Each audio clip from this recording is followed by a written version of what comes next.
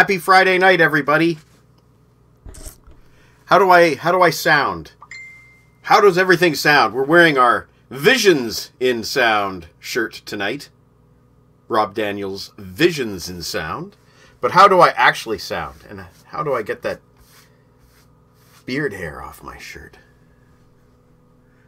How's everybody doing? How do I sound? Chris Sar is already messaging me. Good luck, he says. Thank you, Chris Sar. I believe in the show business, though, it's break a leg is the is the phrase. Uh, do notice that this camera likes to focus funny, but um, maybe I just need to stop moving around so much. I think we will be okay. Pure imagination loves me. Well, that's good. Hello, Candace. How are you tonight? Mr. Harrison Kopp is in the house. Chris Sar says I'm loud. The visions and sound are both good. Okay, well, I'm going to do an unboxing, but uh, before I do the unboxing, I had an idea that I wanted to throw out there, and I'll bring Deke on for this idea. Hey, Deke. Hey, folks. So I had an I had an idea I want to throw at T Bone. Sure. And um, I want him to record a couple jingles for me because there's periods of the show that are always the same every week. Like there might be a time at the beginning of the show where I'm waiting for a guest. So then I would like to hear like a 30 second jingle, waiting for the guest, waiting for the guest. I think he could do that. And then another one would be like when we're about to start counting down the lists and he can come in with a jingle like counting them down, counting them down. It's the Nigel tough, you know, you know, yeah, yeah. I, I just think I think I think T Bone would be perfect to record me a couple of jingles that I could use every single week at the same spot in the show. Yeah, I think he would be up for it. He probably already, if he's watching this right now, he's probably already got his acoustic out. Yeah, he'll he'll have it done by the time the show is over. Uh, and yes, Robert. Oh shit. hey, that was a spinal tap moment right there, we, man. we totally jinxed that because we were talking about how awesome the sign was, and yeah, give me a second here. Okay, uh, I'll just address Robert Daniels' comment. Yes, it's the it's the depackaging portion of the show. The depackaging portion of the show, his favorite part. He's like jingle bells. Yes, you're the man, T-Bone. You are the man. Thunder Bay Arena Rock with the thing. I can Yes. I can just be like uh, Kiss. Yeah, yeah.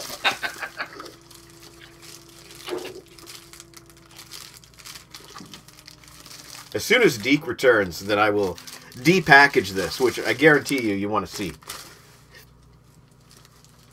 Promise. Promise.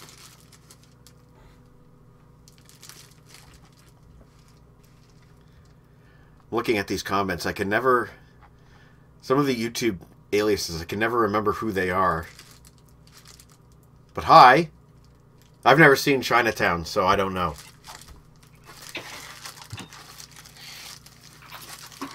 Deke is returning after suing the the Scotch Tape Company. No, I was stick tack. Stick tack. All right, so we are going to stab this thing with a knife.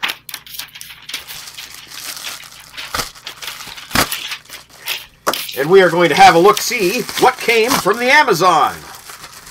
And when I say the Amazon, I do not mean the jungle. I mean the retailer. I'm sure you're surprised to see this band return on the LeBrain train. Um, maybe you could read it better that way. Rock and roll crazy nights. This is um, before Crazy Nights. This is their very first live album called Live Loud Alive Loudness in Tokyo. It appears to be a um, two disc set, 13 tracks in total. And this was recorded, I think, just before the Disillusion album. I think they only had three three albums out in Japan at this time. And I actually have two special knives. Um, they're both Swiss Army knives, but I have two. One for when I lose the other. So yeah, um, based on my track record, you can probably expect a review of this in a couple of weeks. There you go. What year is that from again? Sorry. I'm going to say about 83. Whoa, that's really going back. Yeah. Yeah. So, Deke, Mm. Maybe you, you should be the one to tell us who our special guest is tonight. Our special guest is that we're beyond psyched to have uh, the one and only Mike Fraser on, who Yeah. has basically been a part of our music collection for Yeah. years and still continues to be part of our music collection today. Yeah. So I reached out to him last Saturday afternoon, and by Saturday night at 10, we had tonight all booked up. I couldn't believe how quick it went. It was like, Yeah. okay. And you know what? That's awesome. And Mike was uh, forthcoming with his emails towards me, and then I, of course, sent them to you because you Yeah. hooked up all the Streamyard stuff, and uh, Yeah. you guys got it all worked out. And uh, it's going to be a great chat because this guy is he's like right up there with Bruce Fairbairn and Bob Rock and that whole Vancouver thing. And we're going to get into all of it, man, from Loverboy right through to Van Halen to Loverboy to Motley Crue to Rush, like everything. So stay tuned, folks. You're not going to want to miss this one. I, what I the way I will per, uh, let's get all the let's get all the the, the peanut butter mouth out of the way now. Uh, the way the way I worded it on my on my site, I I kind of exaggerated, but I said it in two different ways. Ninety nine point nine nine nine percent certain that you own something with his name in the credits, and Yeah. the other thing I said was um, it's just about guaranteed that he has engineered or mixed one of your favorite albums Oh yeah, totally. and all of that's true. Hello Yeah. to uh, hello to Mr. Mars. Hello to Mr. Kevin, and hello to Mr. T Bone, who's referring to you as balls of steel. You guys Oh, going to talk about that Black and Blue album he did? I'm not sure. Well, he has uh, he has arrived. Shall we bring him on? You all right? Let's do it. Hello. Hey. Hello! Hey. How are you? all right, man. How are you guys? Yeah, Good. we're good, man. Thanks for uh, joining us tonight, Oh, Mike. yeah, this is gonna be fun. Yes, it will be. Well, it's going to be fun. We we got like 40 years worth of stuff we want to ask you tonight. So Uh oh. right on. Well, thanks So- for coming on. I, I Yeah. You know, uh, Deke and myself, we've been doing this for only a short time uh, since last March, basically, when we went into lockdown. Everybody's looking for something to do on a Friday night, and I really appreciate you coming and spending your time with us tonight just to talk about some rock. Oh yeah, dude, it's great. Hey, this looks great too. What are you using as a? This is just called StreamYard. I pay a Oh. monthly subscription, Yeah. and uh, yeah, it was. Uh, it's been working for me since about August. This looks great, and the and the audio is great. You know, I've done a few of these on Zoom and uh, other one, and you know, you always get the delays. The Oh, we've had we we have that. Don't worry. well, that's coming, is it? Well, last week my camera conked out and I had to rejoin by telef- by, by my cell phone. So uh, we're knocking wood that my new Logitech camera will work the Oh, whole yeah. time tonight. right on. Yeah, cool. yeah, Well, um, since you showed up early, um, Deke, I, do you think we should run the theme song, or should you think we should skip the theme song and just get right into it? you know, Mike, would you would you be willing to Do, listen do to our the- theme song? That do my the best. theme song. That'd be awesome. This is the might- the newly updated version. in if you want to. well, unfortunately, it's a uh, it's an intro video, so your dancing would be lost on the audience. But uh, this is the uh, the latest version of the LeBrain Train theme song by T Bone Erickson, uh, featuring uh, new additions to the train. Uh, we got Martin Popoff appearing in the video now, and Mike Slayen, who was on last week. So please enjoy the LeBrain Train intro theme song.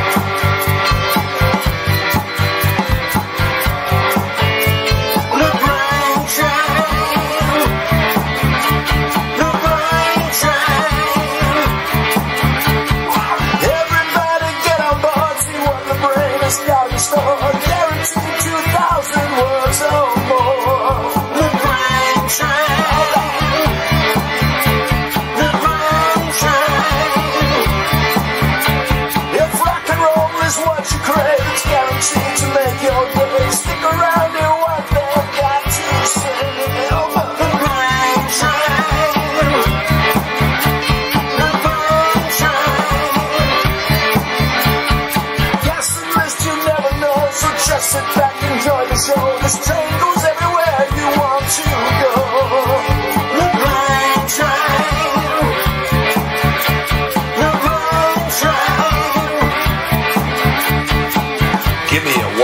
take it to anywhere.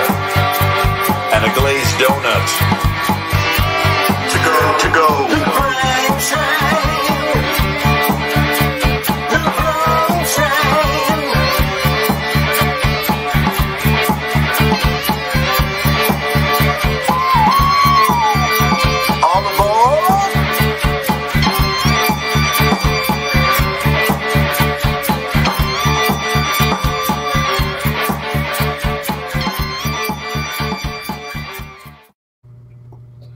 That rocks. That's all.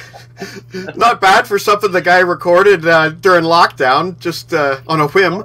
yeah, man. That's cool. Yes, yeah, that was my best friend of uh, well over forty years who uh, put that together for Mike, and uh, yeah, he did a pretty killer job on it. All basically off his phone, almost Yeah. like it's, Oh wow. Huh. yeah, it's ridiculous. Hey, you don't But- need guys like me anymore. no, You know no, that- no, no, no. You I know have what? that song stuck in my head now. The brain change. You know what though? Like, sorry to go off script all of a sudden, but I, I do wonder. Uh, your profession, you know, are you being replaced by home studios? Because it seems everybody has one now. Well, you know what? uh, To a certain extent, I, I, I guess so. You know, there's a lot of uh, sort of would-be clients I would have had that are now doing it at home. But you know, it's some of it's out of need and necessity. You know, the, the money's just not there to to afford. You know, to pay me and a studio. So you know, more and more people are doing it at home. The, you know, the gear is getting better, and Yeah. quality is getting better, and that. Um, you know, when you want a full professional big, you know, you know, everybody always says, "Oh, why does my stuff sound so small compared to yours?" It's like, well, you're mixing in a box, and it's that, you know. Uh, you know, I think we all coexist. It's it's about expressing your art, and Yeah. however that art form gets out there, I'm down with it. You know. Well, that's a that that's good to hear that uh, you don't feel threatened, but uh, certainly you're not going to hear uh, Angus Young release a, a bedroom recording done on an iPhone. Not not yet, but you know, you never say never. I suppose that's true. Well, sorry to go off script, but I believe Deke wanted to uh, dig into some ancient history. Well, not ancient history, but some history to start with, didn't you, I'll put on my cap and see Yeah. what I can remember. Well- the well, Wayback Mike- Machine. Yeah. Mike, when we Mike, when we have guests on, we actually we actually do our homework here. Oh wow! Yeah, so yeah, so I was thinking as, as the LeBrain train was playing, maybe this week's episode should be uh, since Mike did Sonic Temple by the Cult, it should be the Medicine Train. Yeah. Cool. Hey, Nice. Hey, there we go. Yeah. But uh, anyways, Mike, uh, cheers for you for willing to come on and talk music with us as um, you are a big part of a lot of our collections, along with Bob Rock and, of course, the late great Bruce Fairbairn. yeah, I mean, everything, you know, 90, like Mike said today on Facebook, 99.9%. yeah. You have Mike Fraser in on something along with those two guys. So, what we do here is, of course, we're going to drill you with some questions, but we've had we've had our previous guests on, and uh, like we had Martin Popoff on, and we did a showed some books of his, and you know we talked about it. We had Greg Fraser from Brighton Rock Stormforce on. We talked about his days in Brighton Rock and touring, and so we like to, you know, show kind of like the props, and then we just kind of focus in and, and talk a bit. And if Yeah. you're willing to be game, we'll get Yeah. going. I'm here. I got my my trusty beer. I mean water. Right. This is where we do the No. drink sponsors. You know, here we go. Yeah. Soda, Right. soda, and coffee, and I, I do too. I double fist it. So, It's actually smearing off, but uh, no. right. well, it's, we got we got to do the rock thing. So Right. yeah, sure, it's smearing off. it's a little early on the West Coast yet, but uh, yeah and please and please let us know because i mean me and mike can easy easily go three hours with you so if if we start going too long just as soon as I Please. start wheezing and gasping, Right. and That's the cue. yeah, okay so for a lot of our viewers out there they see the name mike fraser and of course you know i did some reading and i've been reading a lot about you and bruce and and bob over the years but you grew up in langley Yeah. and uh how just explain to everybody real quick how you went from langley to little mountain sound and like what you Yeah. did in the training and all that if you don't mind yeah, it was bizarre. Um, I started playing guitar in early high school. I met up with a couple of guys. We we formed this this garage band, and uh, we had a lot of fun. I mean, we didn't have a singer, so but it wasn't really instrumental like a Satriani. We just sort of played the instrumental of the song, but just with no singer. Uh, but you know, we managed to play a few school dances, and everybody just loved this. It was all covers and, and whatnot. Uh, but I learned pretty quick I wasn't going to make any money playing guitar. you know, it's just Yeah, yeah, yeah. that's that's what started my spark. Um, and then, you know, that during that time, you know, God, it was the mid '70s, man. Like, you know, you check out the music that came out then. So I was that was all my my breeding ground. You know, like, Mhm. uh, you know, the Black Sabbath. I was really into the Black Sabbath stuff, and Machine Head, Deep Purple Machine Head came out, and and all these great records. And you know, I was really drawn into them. You know, listening to the the crafting of the stuff. Anyways, fast forward a bit. Uh, I quit school in grade nine. Uh, my dad had his own sort of uh, local logging company. So Mhm. I went and drove bulldozer and trucks for my dad, and then I drove gravel trucks and some logging trucks after that. And I got tired of being laid off in the winter. You know, when it got all muddy. You know, here on the west coast, it gets muddy. It doesn't. It doesn't freeze. Uh, we shut down during the winter, and you know, I was making a pretty good wage, uh, so I could afford to kind of sit around for two, three months. But you know, I just got sick of, oh, what's going on I'm Young and Restless now? Oh, what's you know, I just got not me. I've got to be. Yeah. So I thought I got to reinvent myself. What do I? Well, I like music, but I can't play it worth shit. So hey, maybe I'll get in behind the scenes. Um, so I thought, oh, I'll call up a few studios around town and see if I can get a job at a recording studio. So one of the first ones I called was uh, was Little Mountain, and uh, they were they said that they had no positions open, but they needed a janitor. So if I was interested, you know, being a janitor, you know, come on down. So Foot in the door. Bang down I went and foot in the door, got that job, and I don't remember exactly how long I was a janitor for because it kind of blurred after the first week. Uh, you know, I was hanging out with the, the guys that it was Little Mountain at that time was a primarily a jingle place. Uh, Okay. Griffith Gibson owned owned the business in the in the building and and they uh, did you know all the jingles and stuff. So I would help out on the jingles. So I'd start at I don't know three in the morning, do all my janitor stuff. Then eight or nine, I'd sit up for the jingles for that day. Sit in, help help. Roger Monk was the the, the main engineer for all the jingle work. Helped him. You know, he taught me tons of stuff. You know, I was so wet behind the ears, I didn't even know what a 57 mic was. You know, how do I plug this cord into where does this go? You know, I was just, I was super green. So it was, it was great. Uh, and then we'd work till like five or six, and then the studio would shut down. We'd all go home, and I'd be back there, you know, three in the morning again. In the meantime, Bob Rock was working there, and he was an assistant there, and he'd help on jingles and stuff too. Well, he started at night, coming in, you know, after six, seven o'clock, and uh, was recording all the the local Vancouver punk bands. So, you know, this would have been Oh, yeah. 78, 79 ish. Wow. Um, Yeah. So, you know, after like a jingle gig, and before I go home, I'd hear this cool music coming out. So I'd poke my head in. Oh, what do you got? Oh, cool. I said, Hey, Bob, you know, do you mind if I hang out and, and give you a hand? He goes, Yeah, man, you know, whatever you're into. So, so then I stayed after and I'd work with Bob till about midnight or so.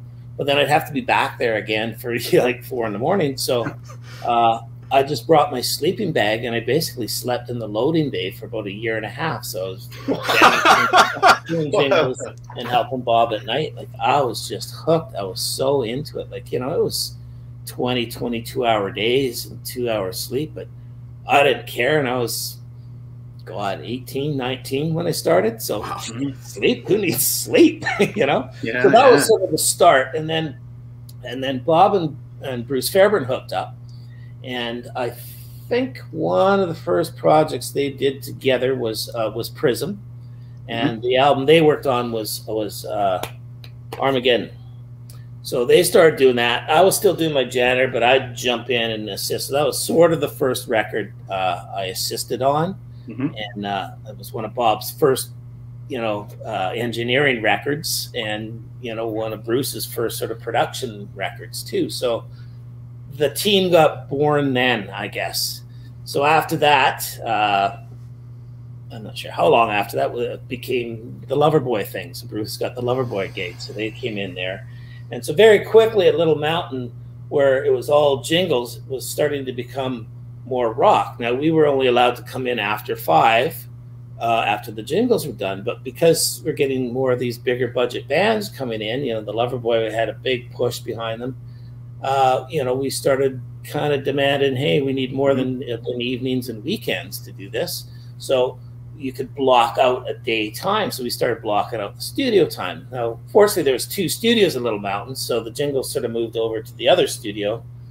Um, but uh, I know there's a lot of rubs during those years where you know we were set up and had everything set up, and they come in, they need to do a jingle, and we own this place, and it's like, Uh. well, we're doing this. And so that's Yeah. that's kind of how it all started. And you know, me, Bruce, and Bob were were kind of the team, and then it all just started avalanching after that. Well, you know, it's funny you should mention the avalanching because growing up, when I was into rock, getting into rock in the mid 80s, I seem to remember hearing a lot about Little Mountain and b- names like Bob Rock and Bruce Fairbairn. And I would see names like Mike Fraser in, in CD credits. And I think a lot of the awareness uh, in Canada came from Much Music. Those guys were constantly talking about Little Mountain and Bob Rock because you guys were doing some pretty big records. I remember the excitement when uh, the news came out that Bob was going to be doing the new Cult album in '89. Yeah. You know, and what is Bob gonna?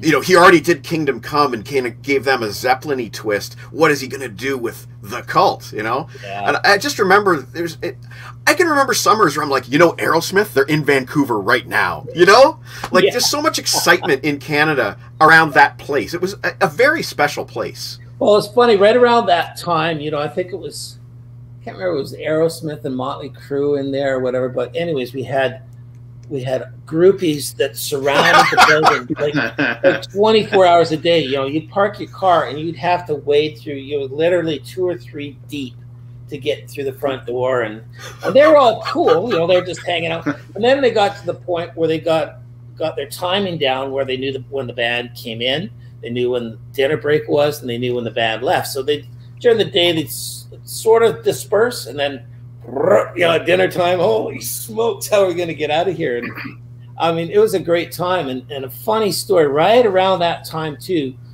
uh, the Vice Squad was really cracking down on hookers downtown, streets downtown that were just mayhem of hookers. So they, I don't know if they changed the bylaw, whatever. They they shoved them out of the downtown area. Well, they all ended up out in the little mountain area, which is a little bit outside of town. So you get all these groupies around the studio. On every street corner, there's at least two or three hookers. Um, I was assisting at that time, so I remember coming back from a a food run, you know, gone to get some, you know, curry or something for the guys, and so come down the street, pull a U-turn at the four-way stop, and park in front of the studio. Well, cop lights go off and get me out of the car. I'm like, oh, I'm just delivering the food. You know, I got to get no, no, you know, license, registration, you know, all this crap, food on the top, and so they thought I was there checking out the hookers, right? So Right. it took a good 20 minutes to get that all settled down. I said, dude, let me just get the food into the guys while it's hot, and I'll come back and take it. oh man. Oh man, that's hilarious. But you you say that like uh, they knew the time of when the bands uh, would go for dinner and stuff, and I think from what I read with like especially with Bruce Fairbairn, he ran the tight ship of you show up at this time and I have my family and da da da da, and I think you know you have to. That's a lot of respect the artists and the band showed a guy like Bruce Fairbairn is they all bought into the I don't know if it was nine to five hours you're working, but everything was regimented and Yeah. look at the success and Yeah. formula and everybody going to Vancouver. And I'm sure Bob probably worked like that as well. Yeah, yeah. Like as You know, Bruce, you know, Bruce was a real stickler for that kind of stuff, though. Like, you know, Mhm. uh, I seem to remember, you know, we wouldn't start any earlier than say noon or one because you know the, just the bands after years of being on the road and Yeah, and gig, course. you can't get anybody in earlier than that. You know, that's changed over the years, but um, that time I think it was you know noon or one, and so Bruce was cool that. You know, if we had anything to sort of pre-do, you know, we'd start maybe uh, eleven or something like that, but usually it was noon. We'd start and. uh and Bruce would come in and he'd have his list of what he wanted done that day. Okay, today we're working on this song. Uh, we're going to do guitar overdubs, and then at this time we're going to do that. And he was fairly flexible, but that's what he wanted to get done. So, for example, if the guy was, you know, playing solos, and we we do a couple of takes of solos, and it wasn't really inspired, it wasn't really there. Bruce would say, "Look," he says, "go home and, and go back to the hotel or whatever. Work on your solo. We'll do this tomorrow or another time. We're Mhm. going to get on and do this." Like he was, you know, he was all up for creativity in the studio, but that costs studio time. And he, you know, Bruce is one that no matter what, he always came in on or under budget, and that was that was big back there in the eighties. You Yeah. know, the budgets Yeah, were for sure. three hundred thousand plus. So that's like you know you're talking big bucks. So you know there can't be a lot of fooling around time. And then you know Bruce would go home every night at five thirty or six. You know he and he also coached the son's soccer team. So sometimes he'd disappear for that, and you know he'd leave me and Bob or whatever to do. Hey, can you guys record the the solo? Can you do you know we'd do Mhm. stuff. We'd have a little dinner break too, but you know. I lived in Langley, so I wasn't going to drive an hour home for dinner. And so, Yeah. Uh, so you know, we'd have dinner, we'd go out or whatever, and you know, through a lot of that, you know, the bands wanted to go to the strip clubs, Vancouver. but you know, so we'd have our dinner, but you know, we'd carry on, and then Bruce would come back, I don't know, seven ish, and then we'd work till, you know, Bruce would work till ten or eleven. Sometimes Bob and I stayed a little bit later, but he'd like to run a a really defined this is what we're doing now this is what we're going to focus on you know and uh you know in later life you know when i kind of produce records i try and keep that in mind but i just can't do it like bruce does Yeah. I mean, you can you can really see it in um, the making of the pump video. That's Yeah. anybody can anybody can watch that now. It's actually on. I watched all nine parts on YouTube this week, where you get to see. Yeah, because i've only seen clips i've never watched the whole Really? oh, I man, ordered gotta- that from you Columbia House back when it was Oh, on no, VHS. Yeah, and you know what? And you can you can get that feeling. Um, there, I'll never forget the the one scene in it where um, you're sitting uh, mixing, and behind you is Steve Tyler on his Korg piano, and sitting on the couch is Joe Perry. Behind you, man. It's like it's just like you turn around and it's like what? No really? no i was constantly like don't you guys need somewhere to be.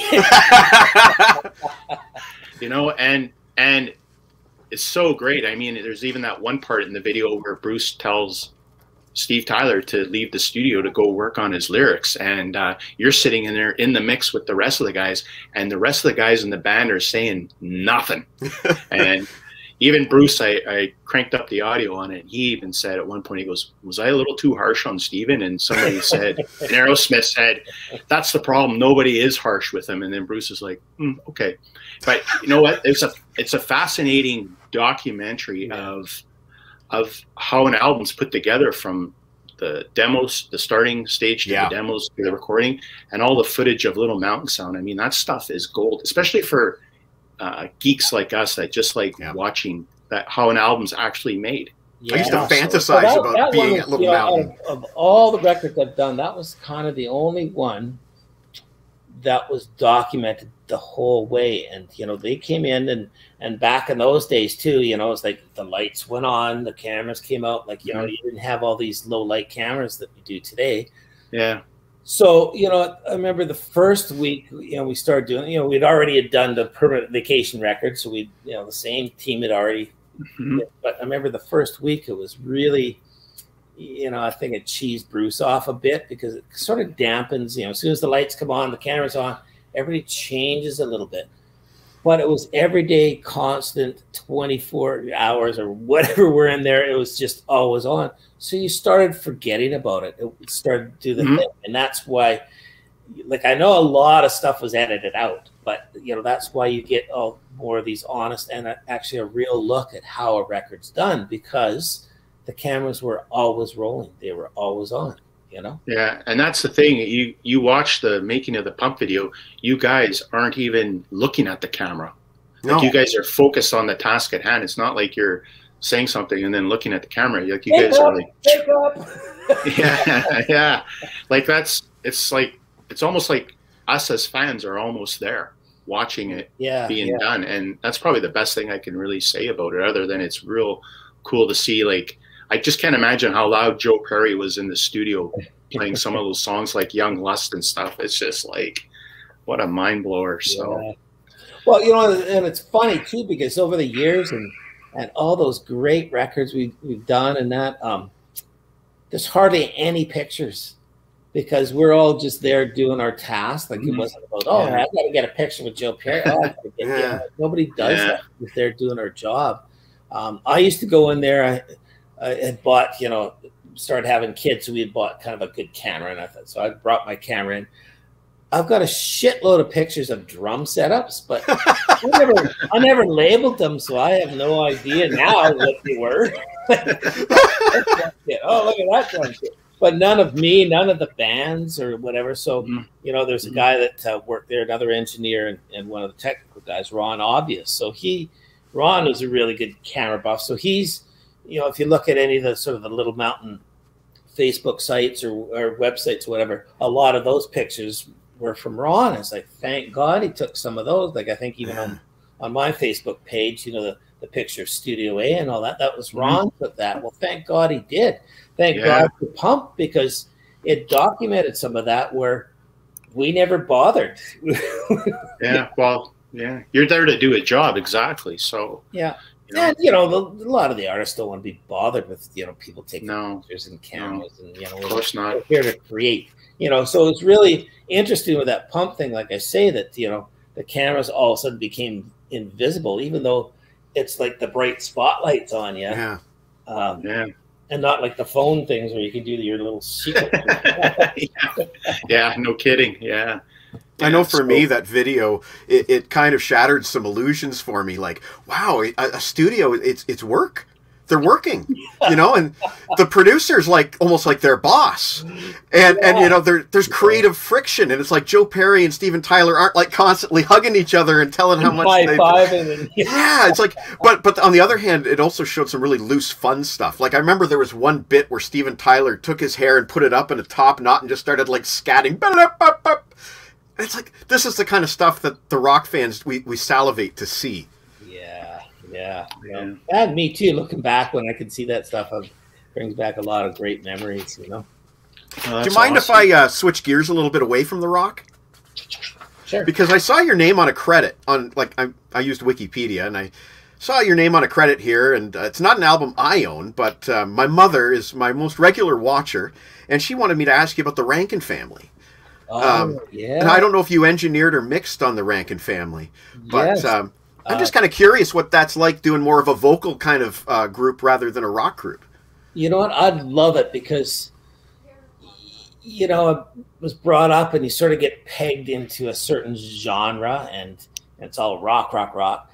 I mean, Mhm. I love every facet of music. And, you know, to be honest, uh, when I'm not in the studio working, I don't listen to rock.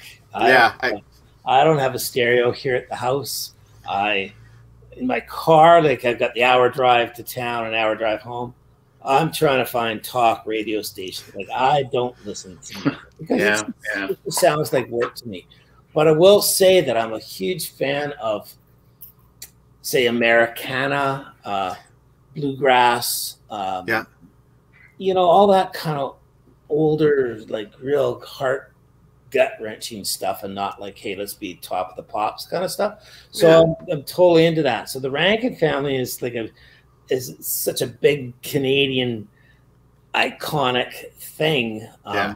So when I had a chance to work with with them, and um, it, you know, uh, I jumped at it for sure, and it was a bit of a different thing for sure because they, uh, her and her producer looked for different things in a mix that. You know, as a rock guy, you sort of go one way, and they say, "Oh, this sounds great. Everything's big and aggressive." But can we tone the drums down a bit? Can the vocal be a little more loud? You know, so there's a bit of a learning mm-hmm. curve for me too. So it's always awesome to do that stuff that pushes you, and that stuff pushed me. But I, I just I loved it. So you know, I did a, a Norah Jones song too for a Yeah. Uh, it was a greatest hits thing or something or some package. It was just a one-off song. That was awesome too. You know, it's just Yeah, stuff that's out of awesome. my my wheelhouse and Mhm. push you a bit is awesome. That, that's Oh, that's cool. really nice to hear. Yeah. And my mother thanks you for answering the Oh, question. Over to you, Deke. Thanks for asking, Mom. Okay, Mike. So here we go. I'm going to show you some of my records here with your name in the credits, and uh, if we could maybe just talk a little bit about them. So my first entry point into the Bruce Fairbairn, Bob Rock, Mike Fraser was in 1984 with this record. Oh wow. yeah.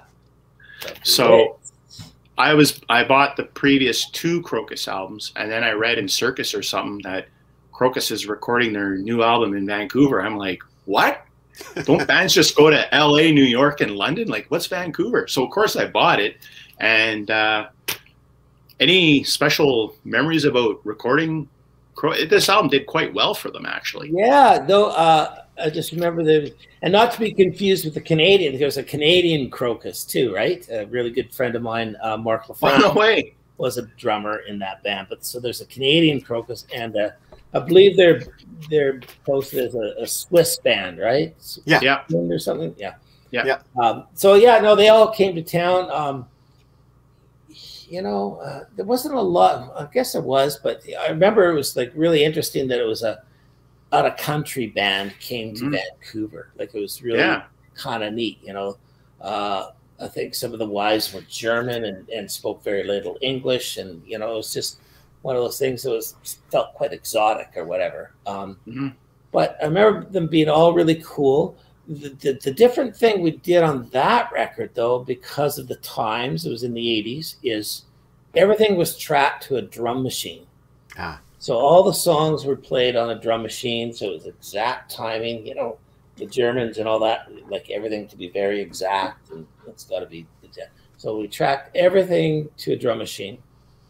When we're done with that, the drummer went out so that he could be inspired by uh, the full vocals, everything, and then play his tracks. And then I remember that took a bit of doing because drummers aren't always that exact. So you know, he'd be playing along, and then all of a sudden things are starting to flam. So it's just, I remember thinking, wow, you know, it, it was really neat that you could dial in the drum sounds to what everything else was instead of the other way around. You get your drum sounds, and then you try and fit everything to the drum sound. It was sort of done the backwards way, but um, you know, it was it was kind of cool. I remember it being really interesting. Uh, I was assisting at that point, and then at Okay. at one point, uh, I don't know, it was Bruce or management or label said, "Hey, well, we you know we need sort of another song on this. We need sort of the lead off thing."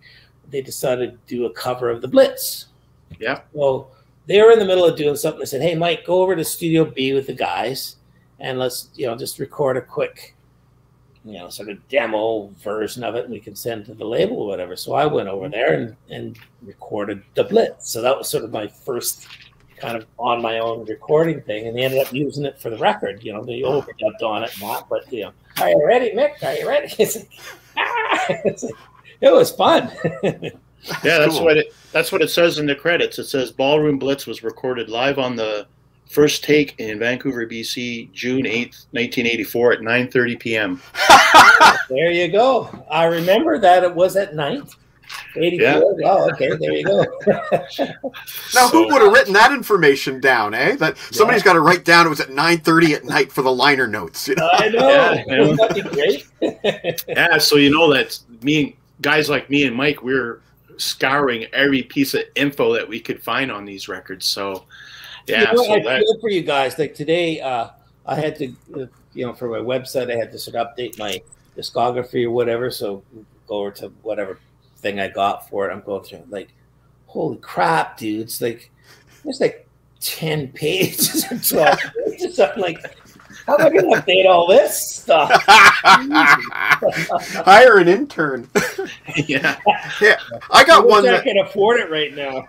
I got one here from your discography that not a lot of people talk about. Oh, dude, they were awesome, eh? Yes, I, I, you you mixed this one. Yeah. Smashing Yeah. job. Smashing Yeah. job on the Stone Gods. Yeah. So Dan Hawkins, him and his brother Justin uh, are uh, uh, what's that? Well, the darkness. The Dark- You know? right. Yeah. So they had, you know, on a hiatus or you know, stopped doing their thing. Forget how I got that gig, but anyways, you know, Dan and I hooked up, uh, and we. Uh, he says, "Oh, I got this record. Let me say to you the demos." I'm like, "Dude, this is fucking awesome."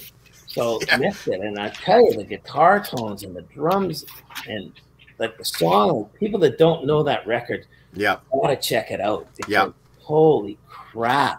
It is awesome.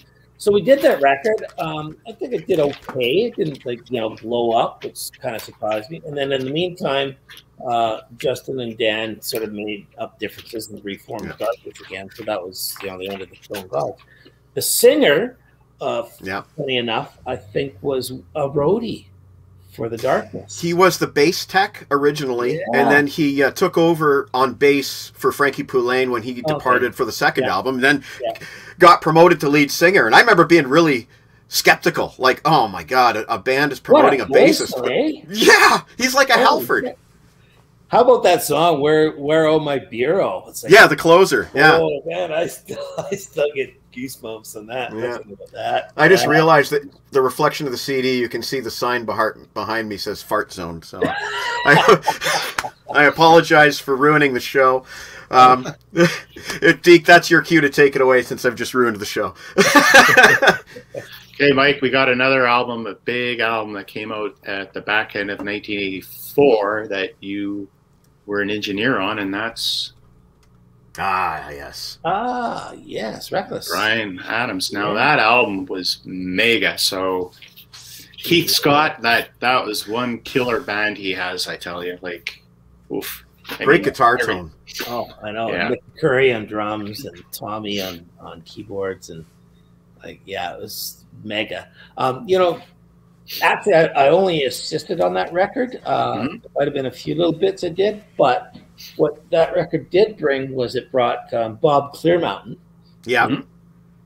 freaking awesome. Like he's one of my idols. And him and Hugh Padgham and you know Bob Rock were sort of my main idols. Like I want to be these guys. So Mhm. uh, to have Bob Clearmountain come to Vancouver and sit and record these things was was a dream come true. So I was put on an assistant on that and uh, kind of became Bob's sort of right hand guy and and just watching how he did things was just you know amazing. Um, I even had the opportunity to go to New York when they were mixing that record. So I, you know, went to New York and and hung out. Me and Keith uh, actually shared a hotel room. I remember Nice, yeah. they had the their their phone books were you know like that big, like huge. And we'd wake up in the morning with these cockroaches on the ceiling. So we'd be trying to throw these phone books up and kill the cockroaches. And it was like a you know mid-range decent hotel. It wasn't like a shithole. It was just Wow. there was a lot of great times we had there making that record. But you know, just watching Bob Clearmountain and his magic, just weave his magic, and he's such a a soft-hearted, nice guy, and just able to steer things in a in a nice way. Uh, I learned a lot off Bob, and you know, a great set of ears. Well, that's the thing. You you hear the songs like actually all the stuff like from Reckless, even the the records that you've done with Bruce and Bob, even when they're like they're playing on our local radio all the time, they still sound great. Like Yeah. the songs themselves, the sonics Yeah. are there. It's not like whoa, that sounds like it's from 1980. No, Right. it sounds like it could have been done this week. Like the the sound is just so unbelievable. So Well, you know what? Interesting. Um, you know, Bob Clearmountain got his start doing jingles too. wow, So the Yeah. thing with doing jingles is you've got, you know, basically five hours to get a song together and mixed and done, and then it goes over to the the post guys to do voiceovers over it and all that kind of stuff. So you don't when you arrive in the morning, you, you don't really know what genre. It could be a country tune, it could be this, could be that. So you got to be ready for. Oh, gee, we got a full orchestra today. Okay, so you got to learn to to get your sounds quickly, fast, so that they can do their thing. and They're not waiting on you. So that was sort of Bob's vibe. That was always our vibe at Little Mountain. Like you know, just be on it. You know, just ready for everything and on it. Uh, so you know, working with Bob, you know, that was a lot of his thing. You know, you, you don't spend a lot of time. You, you know, if you got to spend a lot of time on something, something's not right. Either the drums aren't tuned right, or something needs to be changed. You should not have to reach for EQ compression to make that sound happen. The only time you reach for that is like you got a great sound. Can we make it a little bit better? You know, and that's the only time EQ. So that's what I try and uh, take from all these great guys that I had a, uh, such a you know Uh, it's awesome. opportunity to work with. You know, Yeah, yeah, yeah, for sure. Um, and another album I got here is a Canadian one that the team was working on, and Yeah. Jeez, oh yeah, yeah, that was Yeah, boy. that's another big record. Yeah, that's that a, is. Yeah, that is a that was a huge that put them right into the arenas in in uh, Canada. Yeah. they were I great. mean- they were awesome guys to work Yeah. with. Like fun and awesome. Like you know, occasionally you get bands in with it's got a bit of a chip on their shoulder or whatever, and usually it's the the younger guy. I don't know. I've never met a Canadian band that had a chip on their shoulder. They were always super super nice guys, and that was that was a fun record actually. There you go. Go Canada. Yeah, man. Yeah, go, go Canada. So, Mikey, do you want to? Well, you know, I'm getting so many great comments on the side, and I, I can't put them all on, but there's one here in particular that sounds really interesting. It's from Richard of uh, Focus on Metal podcast. Ask Mike the story when Jimmy Page and David Coverdale got locked out of Little Mountain when they were making the Coverdale Page album and all their equipment was still in there. That sounds Uh, funny. Yeah. Oh, yeah. Well, at the time when we were doing the Coverdale Page record, and I, you know, I believe that was the last record I, I did at at Little Mountain. Um, it was going under uh, some ownership changes. Ah, So uh, I don't know the whole story, but I know we we arrived one morning, come in there to go to work, and there's a big chain on the on the front door. Jimmy and David are standing out front in the in the chain, and there's a sheriff standing there going, "Nobody." Yeah. And oh my God. Like, you know, so you know, Jimmy and David are saying, "Hey, look, those are our tapes. That's our music. All those instruments are ours. You can't re- they're repossessing everything, right? Wow. Said, You can't do that." So, I think by the end of the day, it got sorted out. Uh, I don't really remember what we did in the meantime. Uh, obviously, I wasn't going to go home, but. Uh, you know, I just remember c- coming there and seeing Jimmy and David's face. They just look at me, going, "Mike, what the fuck?" And I see this giant chain on the door. This Wow. standing there, going, uh, "I don't know. Uh, let me make a few calls." But you know, that was before cell phone. So to make a few calls, you have to go find a phone and then find somebody to call. So Mhm. it was bizarre. Um, you know, it did get sorted out that day, and you know we carried on. But uh, yeah, of all records to to do that to you know No Jimmy kidding. Page, let's keep Jimmy Page outside. Sorry, you can't come in, sir. You know, that's that's yeah, that that's the thing I wanted to ask you, Mike. Since we kind of jumped ahead to the uh, Coverdale Page record, is Yep. how long did it take for you to wrap around your head when you started working with Jimmy Page in the studio? and maybe, perhaps, kind of telling him maybe that guitar we could kind of do over again without it, you know, being ta- separating the fanboy from being professional. Oh. He, he probably understood you had a job to do, but Yeah, dude, I'm still trying to wrap my head around. it.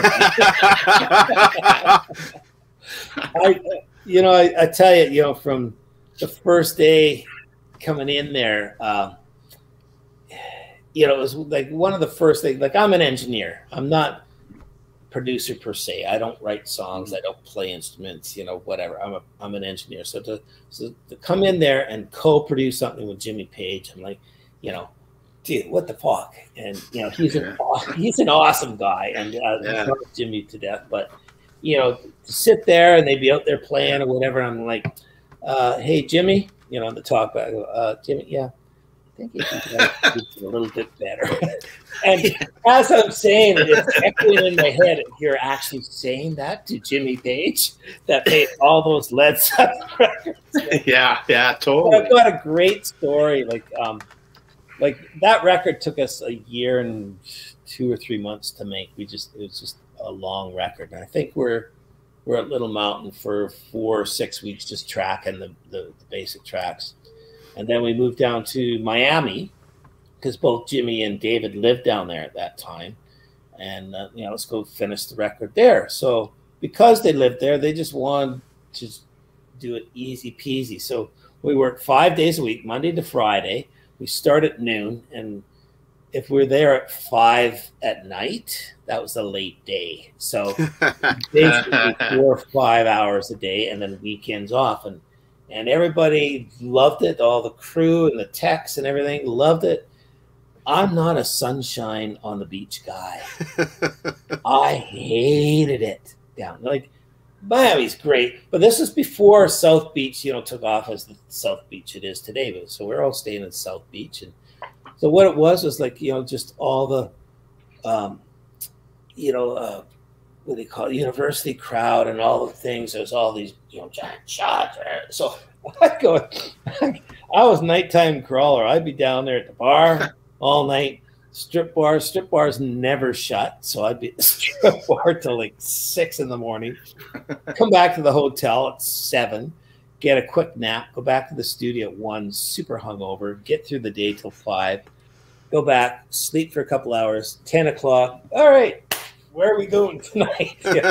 Um, but you know, we're in Miami for like nine months. So I remember one day we go in and, and each day we sort of pick what are we what are we working on. So you know, we'd either work on vocals or guitars or whatever. And we never sort of you know, because sometimes David wouldn't come in or Jimmy wouldn't come in, you know, we sort of split it up. So I remember spending all day working on a bunch of acoustic guitars, and we had we recorded all these guitar tracks. And let's try this, and a lot of experimentation, and try that. And at the end of the day, at you know four thirty, we'd listen to these things, and Jimmy goes, "Okay, well, it's just let's revisit it in the morning. Let's come back tomorrow and check it out." So I'm like, "Okay." So he takes off. So I'm listening to it. I'm like, ah, they're kind of all over the place and a bit messy. And you know, this was again before Pro Tools, so it was all on Mhm. tape.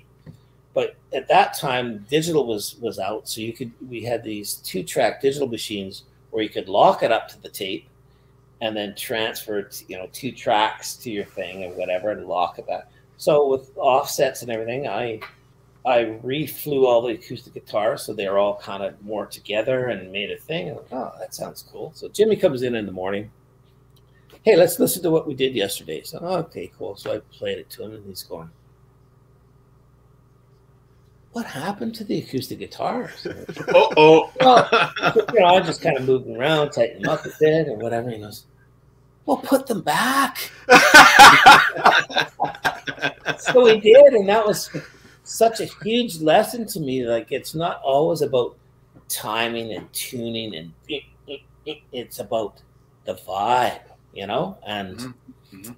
that was one thing. So now, with that, you know, in my mind, you listen back to a lot of the Zeppelin and a lot of Jimmy's playing, where you know you think you know he's a bit sloppy, but that's how he it is, and that's that's the vibe of it. You know, like if it was all done perfect and all right, it wouldn't have been Led Zeppelin. It wouldn't have been like, you know. So that was a great lesson for me. I've never, I never got whipped down so hard for something in my life. and it's, it's stuck, you know. But that's that's um you know it's such a great record. And you know i know has there been any talk about uh, reissuing it? Uh, have you heard? I mean i don't know if you could spill any beans if there was no, but no, I haven't heard you it. know like Now that one I- was I that one have. was really unfortunate because you know uh, after all that time, like you know, we did it in Vancouver, did the nine months in Miami at uh, Criteria, which was you know a big famous you know rock place, and then we went we we what were we three or four weeks at Abbey Road mixing it. So, wow holy You jeez like, like, was, yeah, it was Yeah. awesome. It was perfect. Uh, I got Yeah. a great Abbey Road story for you during that after this, but but you know it was all perfect. You know, like Jimmy Page, David Coverdale, great voice. Jimmy, you know, Yeah. great producer, very sort of Zeppelin esque type Yeah. music, whatever. Uh, Geffen Records, which was huge at that point. We thought, wow, this is this is a no brainer. This is hit it out of the park. but when it came out, there was some touring issues. I'm not sure Yeah. because you know when I'm done the record, I don't know Yeah. all the politics after. There There's some touring issues. There's this and that. Um, I know when it was first released, it broke all records of how many stations added in one day or one week or whatever. Mhm. It was like, you know, it looked like this is going to be a huge record, and then it just went whew, and disappeared. But everybody I know that has listened to it is like, why wasn't this record bigger? I don't know. You know, same with the not to change gear, but same with the Blue Murder record. Like, you know, Yeah. what, Whoa, yeah. That's one that happened? you wanted I don't to- know what happened, but I know it was something to do with touring and couldn't do this, couldn't do that, didn't want to do this, didn't. It's just unfortunate. It has to be Uh, disappointing for you, for you personally when you see an album like Coverdale Page that you sunk what did you say like 14 months into and then it just kind of you know real strong start and then just steady. Yeah, But that was 1993 for you. I mean, yeah. I was very active in keeping track of the charts back in '93 Well, and, and some of that too. Like there's so many great bands I worked with right up and at that point, and you know, say what you will about grunge, it just pulled a plug on everything.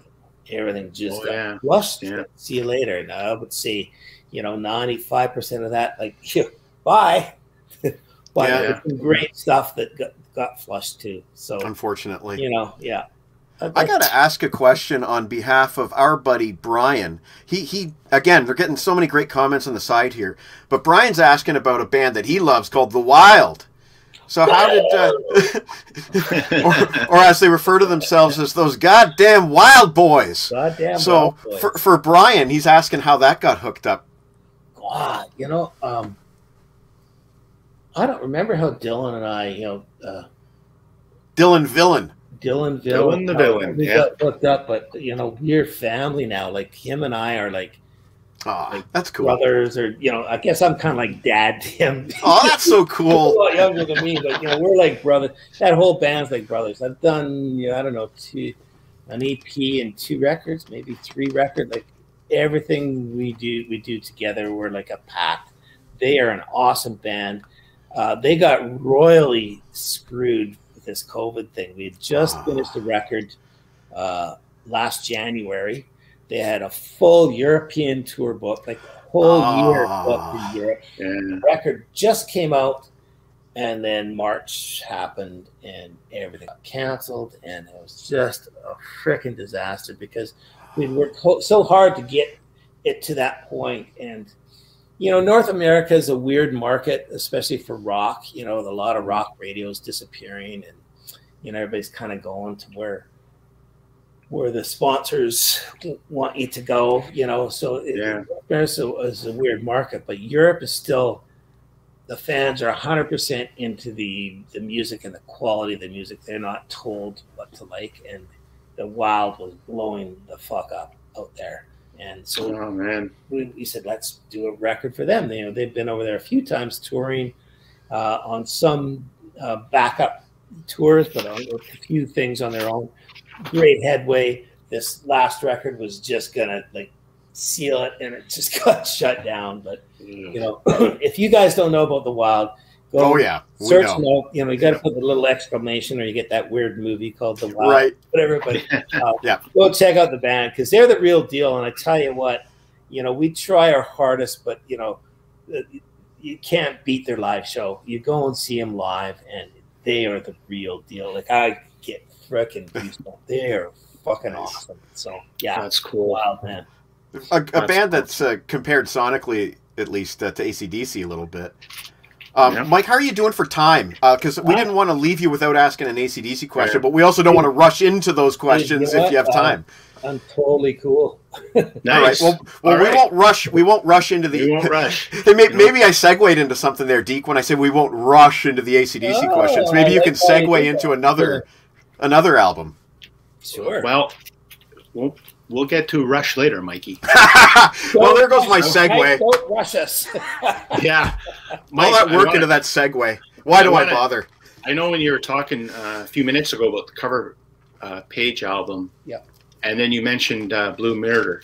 I'd like to talk about this album that led into working with John Sykes and Yeah. Bob Rock on Yeah. what is a real great record, which just like what happened there. But John Sykes, man, like that guy on that 87 record and the first Blue Mhm. Murder, when I hear his guitar on it, that to me is just firepower. Like, Huge. I oh know, man, right? you guys, you guys dialed it in so good. I mean, wow. Well, Yeah. you know, I got to tell you on that record, you know, uh, it was the late great Mike Stone. Mike Stone was uh, a huge part of my career. Uh, you know, he had worked on a lot of the uh, the Queen stuff, right? So that he had done a lot of the Queen stuff. He actually told me, you know, Bohemian Rhapsody was was recorded in three parts, and when they mixed it, they only mixed two parts. And they said, "Ah, yeah, that's good."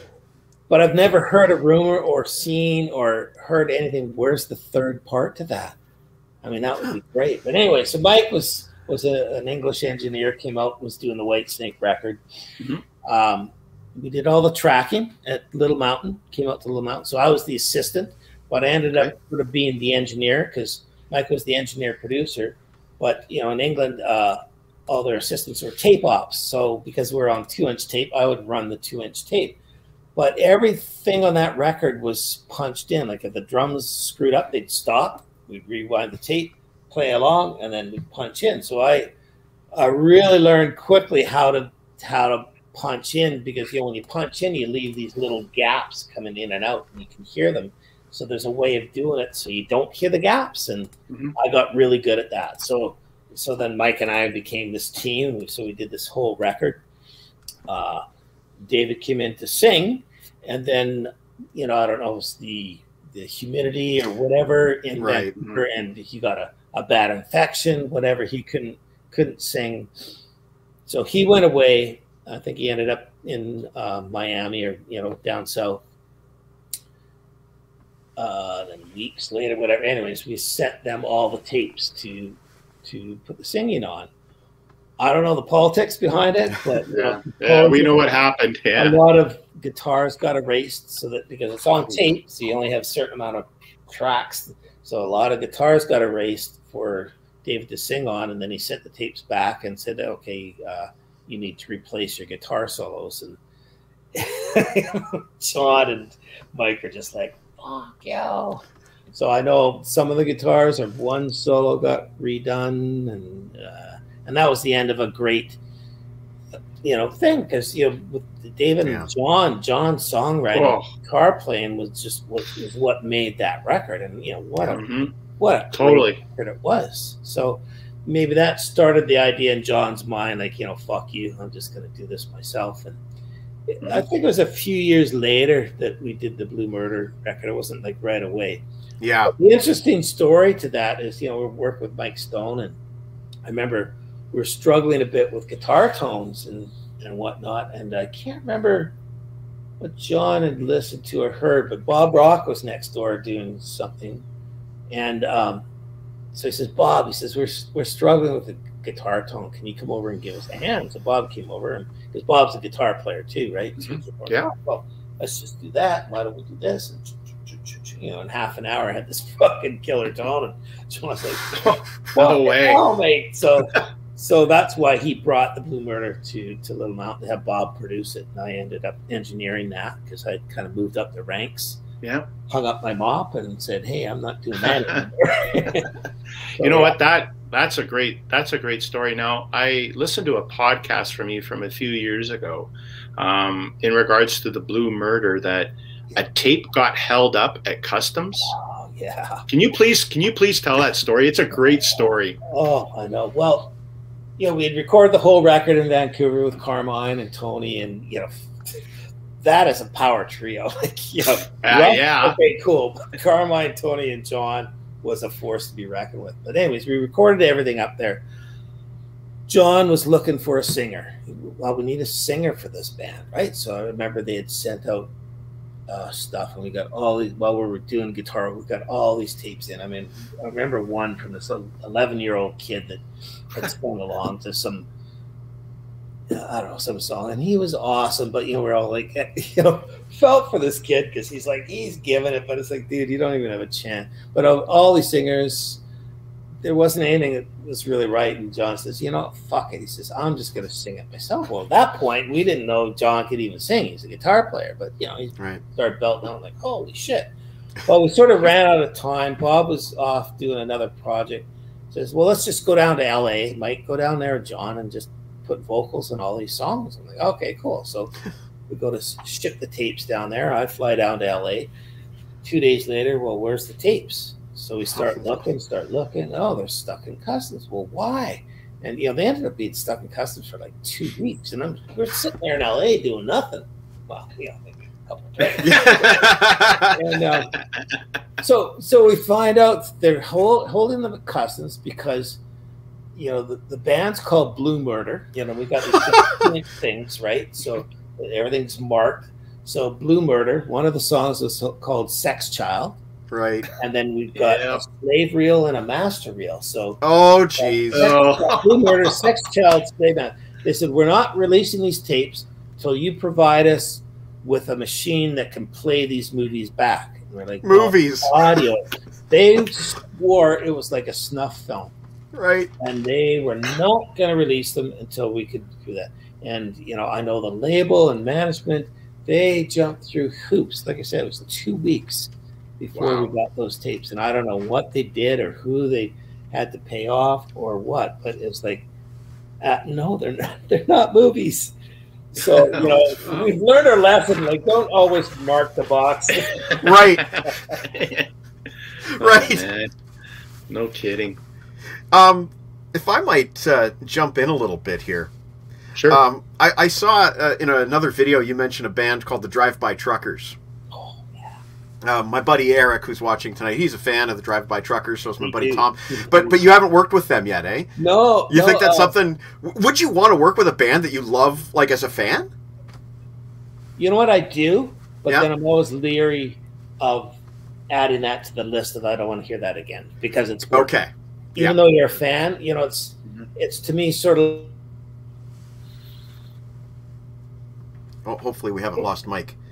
oh, Mike's frozen. Mike is frozen. I hope Hey, we haven't lost. I'm Oh, there he is. He's go. back. Hey. you know with the creativity of music. Uh, quite a few years there, I was thinking, oh, I'd love to get in and do movies, but I love movies, and I would never ruin it. You know, because I've got some people that work in, in movies, and they say, "Oh, did you see all the edits on that one?" And once you know they're there, then Okay, yeah. So same thing. But I met the, the guys a, a, a bunch of times, went to some live shows, tried to sort of woo them into, hey, let's work together. And, you know, they smoke a lot of pot. I remember going on their bus once and they were just all just like it was a cloud, right? And it's oh, hey, dude. And I'm like, oh no, man, I'm already baked from the, you know, so they, they left me alone. But great guy, love that band, love Dead Drunk Awesome. and Naked Man. Yeah, That's So awesome. there you go. Check out the Drive By Truckers, everybody. yeah, cool band. Um, I'd like to ask a question on behalf of uh, young Tyler here, who is a uh, aspiring musician himself, and he is actually asking a question that I've been curious about myself. But the difference between analog and digital recording, pros and cons. Well, the, you know, there's a lot. Like a, lot of us old guys, you know, hang on to the digital thing as like, or the sorry, the analog, analog. thing, and you know, it's so great, this and that. Uh, you know, if it was so great, I don't think Pro Tools and all that digital stuff would have been invented. But what what I will say and how I view it, and I prefer analog myself than digital, but how I view it, and a, and a good friend of mine that's now passed on. Uh, had said to me once, he says, it's sort of like, okay, you got neon lights, right? So you're in an office or your school, your classroom, you go in there, and those neon lights are just so harsh on your eyes, and you're just, you know, you always get a headache, and it's just like, oh my God, these freaking lights. Well, the neon light's going like this, it's flickering, right? Yeah. But you don't see it, but your brain sees it, right? But you don't Right. perceive it. It's the same thing with digital. It's all zero and one. So the Yeah. converters are flickering, flickering, flickering. So you don't hear the flicker, but your brain does, and that's why it sounds so harsh and all that. We've now become accustomed to it. They've got a little bit better with the with uh, you know bigger sort of sample rates and whatnot. It's it's a finer mesh. It's not so uh, in the early 80s and you know CDs first came out it was this big giant thing now it's a lot like a finer comb so you perceive less of it but your brain still hears it and it comes out Yeah. with sparseness now okay some of us have gotten used to it some people prefer the sound of mp3s because that's what they're used to so it's all subjective Yeah. but i would say as far as uh, especially rock music for me analog has what it takes it's got that thump it's got higher top end because what happens in digital is they they chop off Right. the upper frequencies that you don't hear and the lower frequencies that you don't hear. But what they're chopping off is is the subharmonics. So there might be 30k, which you don't, you know, dog doesn't even hear that. But the the multiples of that come down and fill in the gaps. Right. And it's the same with the bottom end. So when I listen to, to analog, and it might be nostalgic, but when I listen to analog, it's like, oh, yeah, there's just something there. It's it's got this. Yeah. Uh, digital might be more correct. Another good anal- uh, anal- uh, analogy would be pictures. You know, you take you Right. see a movie shot in film, Right. we see a movie shot in digital. What do you prefer? You know, it's always going to Yeah. be film, right? Like, Yeah. there's just Yeah, something totally. pleasing, and it's analog, and, and as human beings, we're analog. Yeah. And we uh, go to that. So that's kind of my answer. I Oh, prefer thank you. analog, But And apologies to Deke for for high, uh, you know, hijacking your show and tell. Mhm. But I, I am getting so many great questions, and I did want to highlight some. So uh, I apologize, Deke. You go back to your show and tell, shall you? You know what? I've got Uh, lots of climbs, so carry on, guys. Like, I, Oh, yeah? thank you so much. So- thank you so much. Now back. No, we're going back a little. Can we just swing back to 1987 on a couple of records, if you don't mind? sure, sure. And I'm That was gonna a good year. gonna- I'm gonna grab grab one. Just give me two seconds.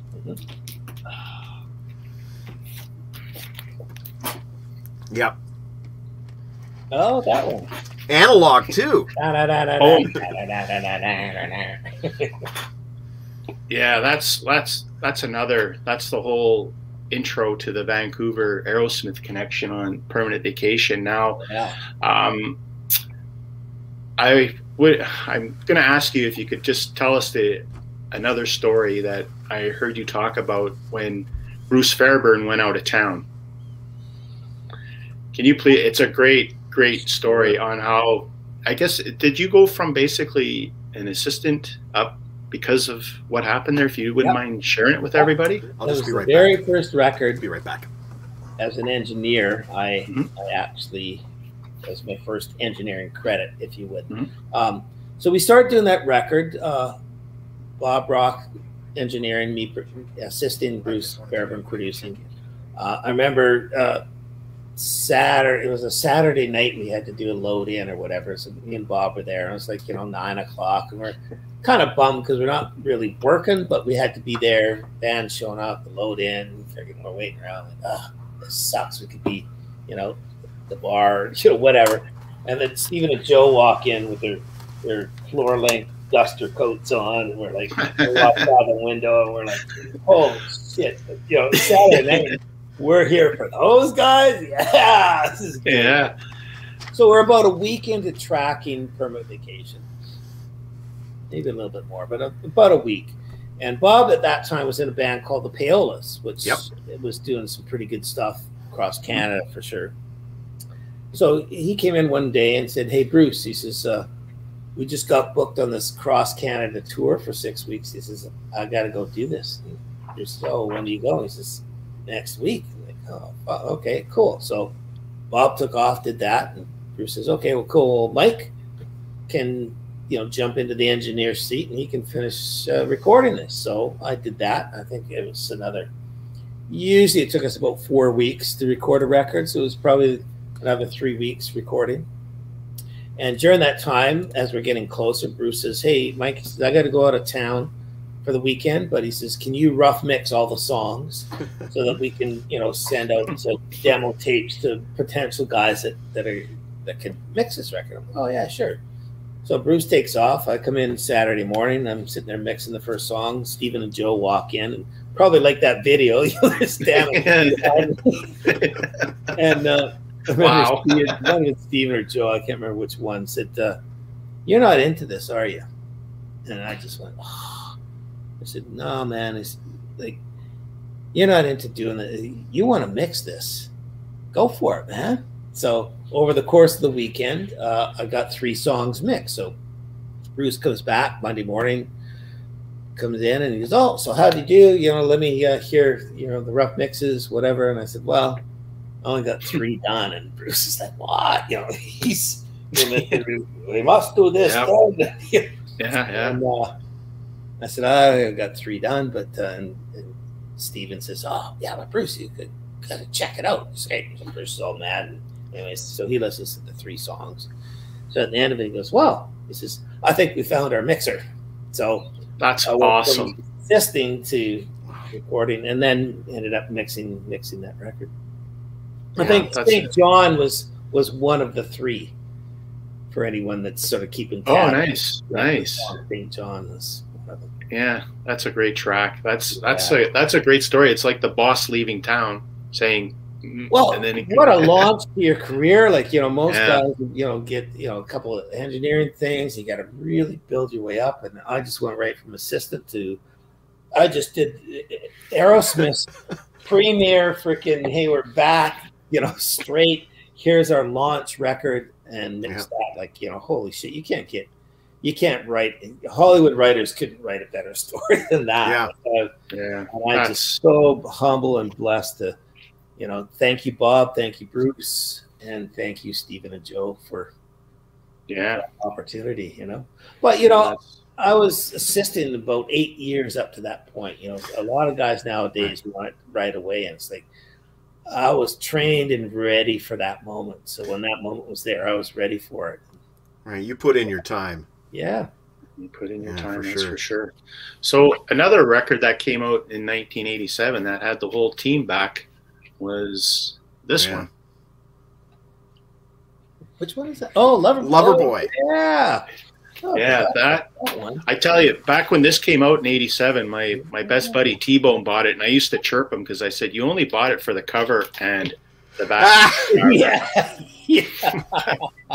but but to his credit, I picked it up last year on record, and I think it's probably my favorite record. That album should have done way better than it did. I mean, Yeah, yeah. some Didn't real that great stuff song on it. Notorious was Notorious on that one. Notorious, yeah, no, that was, no, no, no, no, no, no, Notorious. Yeah. and uh, Love Will Rise Again, which is a real fantastic track. That should have been mega. So, you know, my great album there, totally great album. Oh. That's. Totally. What a great bunch of guys those guys all were, though. You know, like mhm. you know, even from the sort of the Streetheart beginnings, and then they all kind of morphed into this the Loverboy band. I mean, you know, that's really what what seriously put Vancouver on the on the the radar. You know, that's what Yeah. uh, I think um, the Bon Jovi guys heard and Yeah. them, which attracted the the you know ACDCs and the Aerosmith Yeah. guys. Yeah. everybody everybody was coming so um, you also uh, branched out too on away from vancouver i remember buying an album by a british band called thunder called backstreet symphony Yes. produced by Yeah. produced by uh, andy taylor from duran Yeah. duran and, and you guys actually hooked up on that record but then you also did a, a record right after that by a band from baltimore called skin and bones Yeah, man. With Andy. Yeah. and yeah I, I did a bit of homework and i was like i Skin and never Bones even- were an awesome band. They did nothing, but they're awesome. Yeah, I I listened to the album on uh, YouTube. It's the first time I ever heard of them. I was Mm. like, "What?" And uh, you and Andy, you guys had a thing going too. Oh yeah, we, we did a bunch of records. You know, it's funny. Um, probably my management at the time and labels, anyways, put Andy and I together because Andy was slated to do the Thunder record, but Andy didn't want to do with somebody he didn't know. So he had me come out to London and mix one of his solo records, and I don't remember what that was called or whatever. But that's when Andy and I first kind of jived, and we're just we're kind of the same people, and it was like we totally got on. He says, "Okay, well, let's do the Thunder record." So we went out to this this place called Great Linford Manor, and it's out in the so the Midlands out in England, and it's one of the most haunted places, right? and so it's got a big manor house, and then there's a, a couple of almshouses or whatever they call them. So where I guess where the workers stayed. So I I stayed in one of them, and it was like it was so old that the all the floors were like tilted and, and all that. And then there's another house. So there's two separate studios there. The one in the big house was like a little SSL kind of studio, and the one in the smaller house was a Neve. We said, well, we want to record the band on Neve, but we want them to set up the house because it had the big room, the big drum room, and all the sort of the banquet room or whatever it was. So they had trenches or whatever out there, but they spent a whole weekend running cables out to the outside to tie the two studios together. So we had in the outside studio on the Neve board with a band, and they had sort of rudimentary cabins because it was you know back in those days you didn't have the the webcams and all that stuff. So we had sort of rudimentary cameras we could watch these guys, and that's how we we did that record. But we lived we lived there in that house. It was four or six weeks, and it was awesome out in the English countryside. Uh, on weekends, they'd have a bunch of their friends come up, drive up from London. So it was probably a two or three hour drive, and we'd have these huge parties. And guy in the band, um, Harry James. Uh, Yep.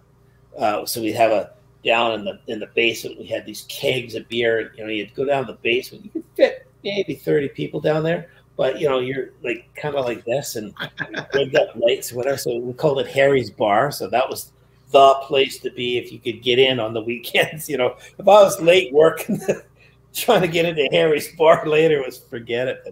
But, uh, lots of good little ghosty stories there. But man, frickin' what a wreck! We'd play uh, cricket, like a sort of like rounders. Uh, you know, a, not a full match. It'd be like a half hour match after dinner. We'd all go up there and play. So I got turned on to cricket during that. What a record! It was great.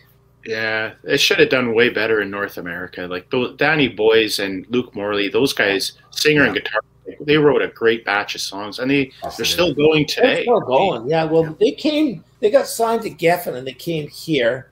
And I think I co-produced the record, or or at least did the record here, and we did it in Atlanta and LA, I think. And Mhm. just Americans just weren't into it. Yeah, that's Europe, that's- England, they freaking eat those guys up, but just didn't catch on over this side. I know Wow. it's kind of funny when I read articles in magazines and it, they're talking about that album and you know five singles or however many there were. And here in Canada, we saw one on Much Music like Yeah. twice that the two Yeah. times that they played it. Yeah, yeah. Really I know. Danny is like exactly like he's a ringer for Paul Rodgers. That quality voice. yeah. He's Oh, great. it's, it's so uh, clear, powerful, and still to this day, you know, he's he's kicking it. still bringing it. So before we get to everybody wants to talk about ACDC, I have to oh, ask. Oh, look I at have- that! Oh, I gotta go. I have to ask you about Van Halen balance. yes, I know we had some people asking about Van. Halen balance in the comments. Can you give us a, a backstory? Like, I always like the backstory. Like when Bruce obviously would get hired for to produce a record back then. Does he say, "Hey, I'm bringing my team with me," and you guys just kind of like how how does that whole how did that whole process work? well, that one actually, funny enough, was was kind of a reverse process. Uh, I got asked to come in uh, to help the guys with their pre-pro. So I met up with Eddie and and and Mike and them and Alex uh, at uh, Eddie's studio in uh, Topanga or whatever canyon thing there, and I forget even how that got hooked up. But anyways, I went there, so we went through and we recorded a whole bunch of demos. Uh, I remember Alex and I going through really specifically trying to get a drum sound that's in his head. And I'm like, Alex, you know, your drums have sound great on all your records. And he goes, I've hated every one of them. Wow. I remember doing that. I remember, um, you know, getting tones with Eddie, and Eddie was freaking awesome. Like, what a guy! He was at that point was sober. I remember him drinking a lot of uh, the non-alcoholic beer, Duels or something, or whatever it was. But um, I met Val, saw Val then. I think that was before before the kid. But anyways, um, yeah, we a lot of great times hanging out there. I remember uh, Eddie had just got his uh, his magical Marshall head back from Holland that had They restored it. ago, and that's Yeah. why he switched over to more of a rig stereo sound. Yeah. And he loved that so much that when they did, well, what was that one record where it was all just keyboards? See, he liked the big lush stereo thing, and he found he could get a lot more of that on keyboards than the guitar. Anyways, so he got his head back. So I remember plugging it in, and like, Dad, dude, fucking let's let's do this. We plug it in. Holy shit, it sounded awesome. But he just he didn't want to do it. He wanted he just like that the stereo thing he did. So we did a bunch of demos. Sammy came in and, and sung on some of them. So that was the first time I met Sammy and and then I had to take off to do a record. Uh, they were kind of ready to go, and, and I remember Ed going, "Hey, Mike," he says, "We need, uh, you know, we're kind of looking for production, you know." And I'm not a producer, and I said, "Oh, you know who you guys got to check out is Bruce, Bruce Fairbairn." So I put them together.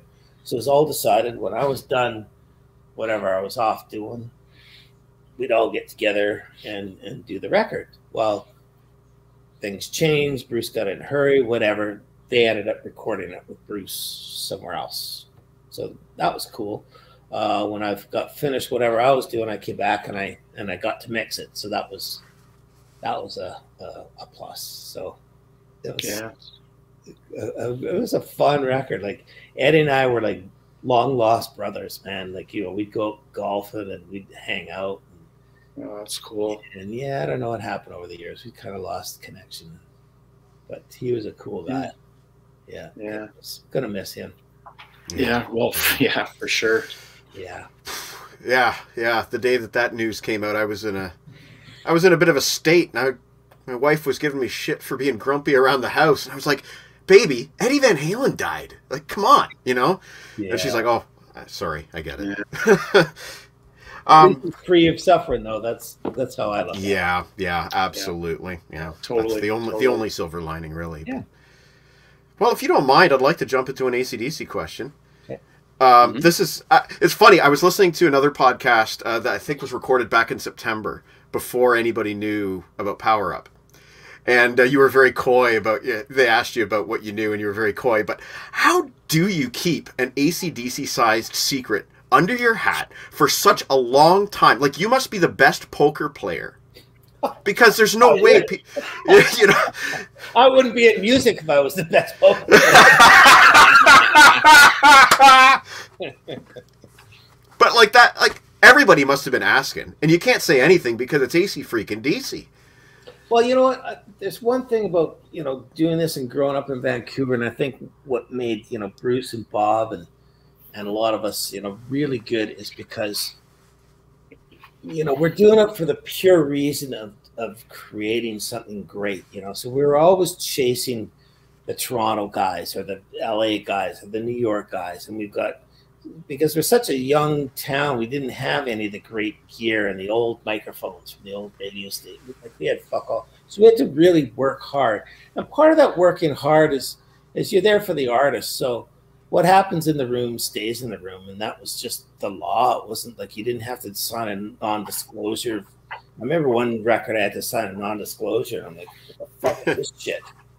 You know, this is you know, it's insulting because I ain't mm-hmm. saying shit about what's going on here until you guys do. So, so it's actually super easy for us to not say shit. Like, it's Yeah. hard when you're getting interviewed. And I know there's one point where, you know, the record's been done, whatever. The pictures all got out there for the Yeah. paparazzi guys, and somebody in, in the interview had said something about, you know, this. Well, in my mind, it's well, it's obviously we're we're there doing a record. You got me and Brian, and you know, well, then that exploded like, oh, Mike Fraser confirms the record's frickin' done, and you know, I'm getting kind of shit from the band for that, but well, it's sort of obvious. I didn't say anything, so that was the only time that I really felt uh, that I let the team down. But even then, a lot of people Yeah. were, were still skeptical. Like that picture could have been from the Black Ice sessions. Like a lot of people, there were a lot of skeptics out there that were Yeah. saying, "Listen, there's nothing." And and truly, as far as the public were concerned, there really was nothing confirmed until ACDC say it. It ain't. Like Yeah. uh, there was also speculation. Well, maybe Mike was working on some B sides for a box set or a live album. Or there were lots of yeah, possibilities, right? for sure. Yeah. Yeah. But you know, to answer your question, it, it it's actually pretty easy to keep tight lip because it's like shut up, it's none of your business what we're doing here. like you know, uh, it, it Mhm. becomes harder when you know because there's you know you see Brian or Cliff or somebody out in, in the restaurants or you capture a picture of them having a smoke. It's pretty hard to kind of deny Right. anything. But, right. You know, that's that was probably the only harder part about it is is denying the obvious. Yeah. But I am going to uh, take us to a question. By a good friend of the show, Mr. Kevin Simister, otherwise known as Buried on Mars, and he has a question that he submitted by video. okay. So, hopefully you can see and hear this just fine. Let's cut Sure. to Kevin Simister. Hello, everyone. Uh, hello, Mike Fraser. Uh, this is a great opportunity for me to ask uh, you a question. I'm a little bit of an ACDC fan, and I've been enjoying your work for quite a while now. Um, so, when Mike asked me to uh, send in a, a video question, uh, I was actually uh, watching No Bull at the time. Uh, so, I got a million questions for you, but I thought I'd go with the one uh, about uh, No Bull. So uh, this concert film originally came out in 1996, and according to the story that I know, um, the film was rushed out onto store shelves to meet the holiday season in 1996, and the director David Mallet was not pleased with the uh, final results of the uh, audio. Uh, so that's why in 2008 we got the director's cut with a new 5.1 mix for Blu-ray and um, DVD. Uh, so I was wondering, because you were the engineer on both projects, uh, if you could shed any light on what uh, David wasn't pleased with with the original mix. Maybe if you shared some of those same views, and maybe what you did to improve the audio in 2008, and maybe just talk a little bit in general about what it takes to do a 5.1 mix versus a stereo mix. I think I got myself about three or four questions in there for the price of one. Uh, so I'll thank uh, and Mike for allowing me to send in uh, this question. And Mike, thank you so much for your answer in advance. I said one question, Kevin. I said Yeah. one. Like, I'm not answering any of them. No, no, disqualified. Well, you know, on that gig, that was in the Madrid, Spain, Yeah. and it was a it was a big Coliseum like looking plate. Like it was fabulous. And anybody that hasn't been to Spain, you gotta go. Like you know when we can, but um, it's amazing. Like the food and the the culture and the wine was amazing. But you know to be in Madrid, so this this stadium that we're in uh, had just hosted a uh, bullfight matador and all that, right? So some areas are still the sawdust. You could still smell the blood. no, Oh my no, it was God. fascinating. Like you know, I'm not saying you know anything about you know I love killing animals and whatever you want to do, but it was fascinating because of the tradition and it's hundreds, if not thousands, of years of tradition. Yeah, yeah. Like, kind of cool. So, from what I know, you know, I know David quite well, um, but from what I know, him and I had never discussed anything. I don't know if it was rushed out for the holiday season or any of that stuff, but you know, project gets recorded, project gets done, mixed, but it, out it goes. And I think maybe what David's thing was that that the five one fix for him is because they had such a lot of great shots, you know, helicopter shots of the, the stadium and all that. And then here's the sound in the stereo kind of field.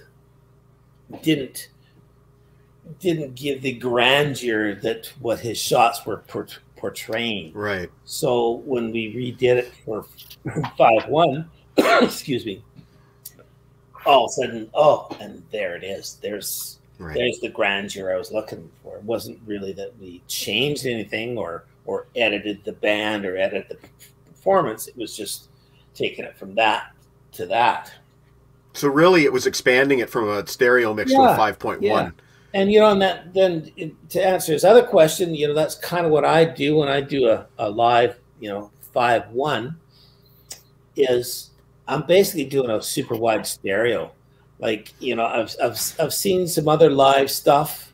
Uh, won't mention what, but you know, as an audience, you're sitting there watching this video, you don't want to have an acoustic guitar kind of poking you in the back of your head when the guy's sitting there. You know what I mean? Like Yeah. it's got to visually work. And you know, I'm sorry, we all when we go to concert and everything, that's what it is. There's the band, and that's what we see. You know, maybe some of the surround stuff that's more dance band, Michael Jackson. Okay, you can have stuff flying through your head. More gimmicky. Yeah. That, But a- a Yeah. rock band, and especially live, there they are. So what I do is I just do a super wide.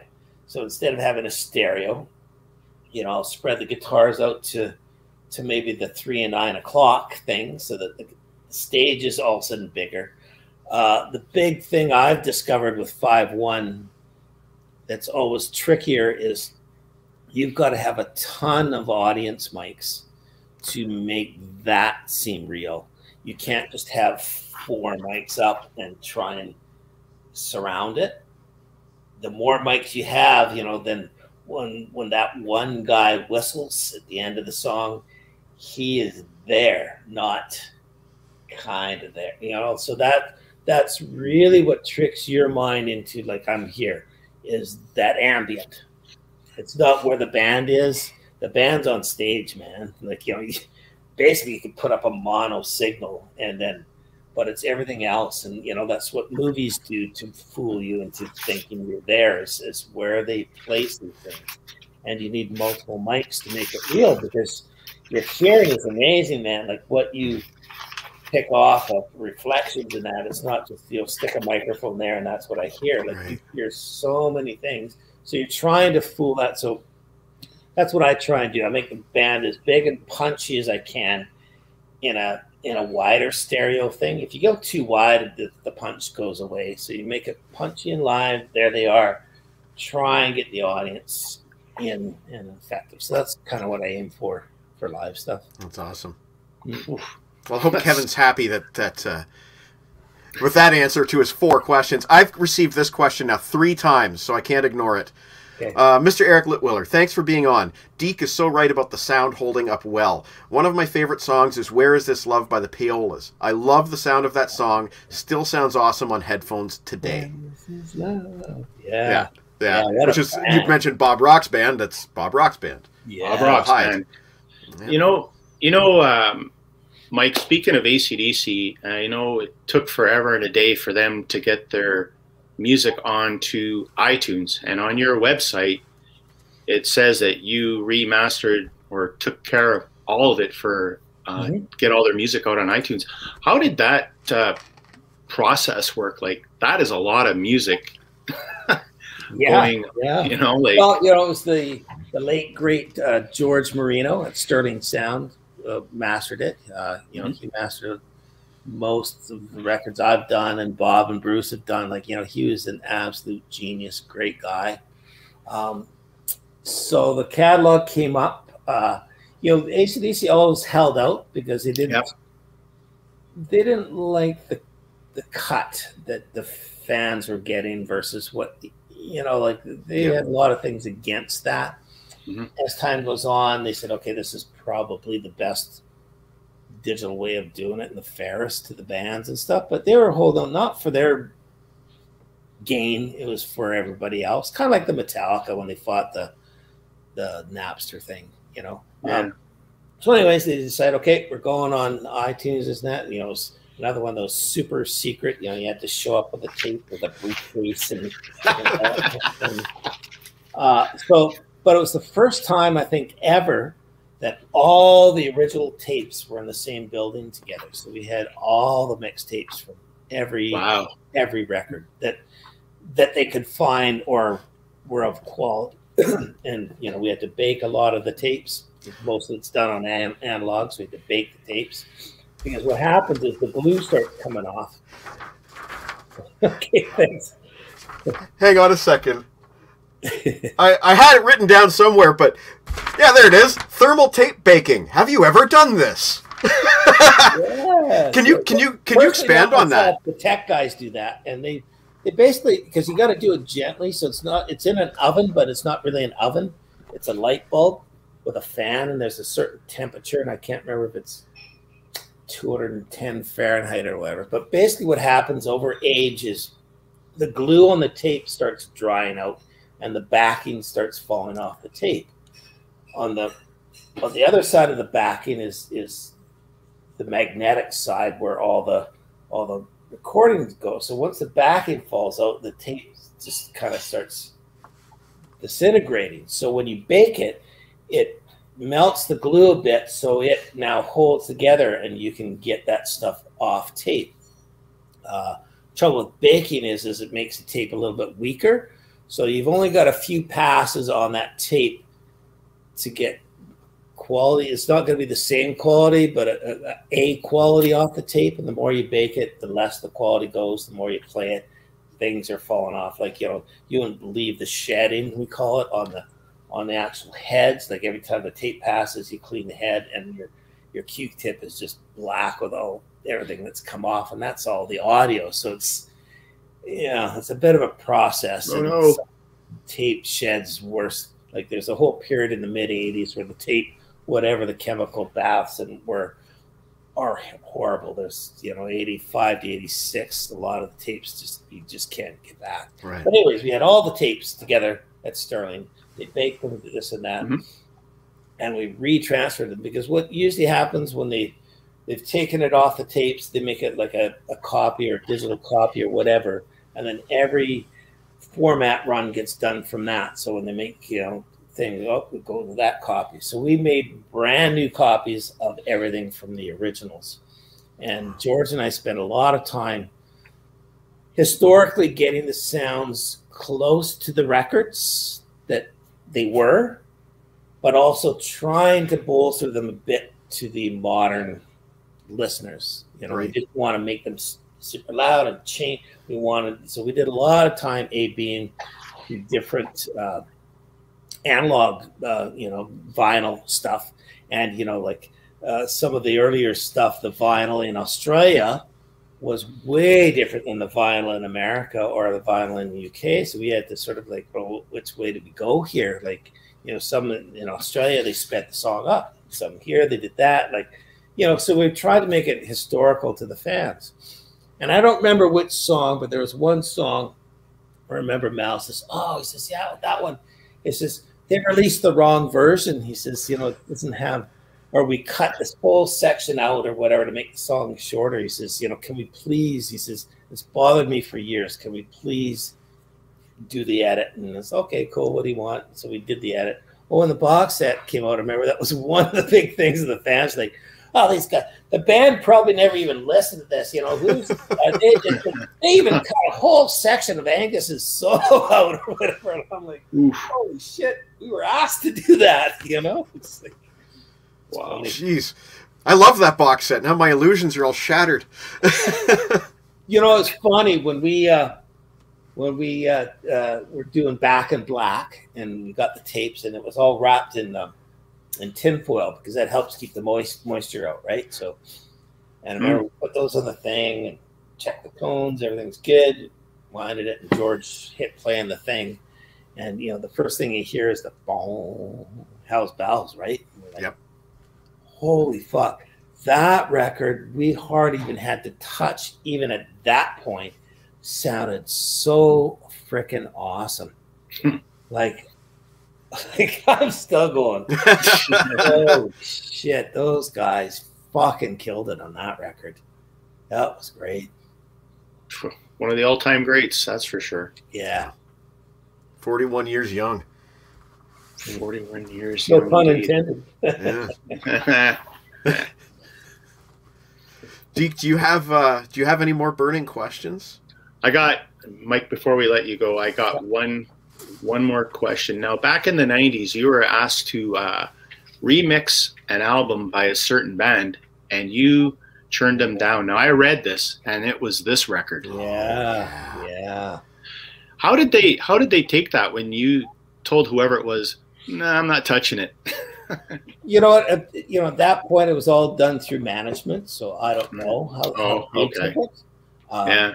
And I tell you, you know, it's it's one of my you know growing up favorite records. I can't tell you how many uh, cups of tea I drank listening to that on headphones. You know, wow. But then, you know, as an engineer, you start thinking about it like, you know, okay, well, what's the quality of the tape and the music now?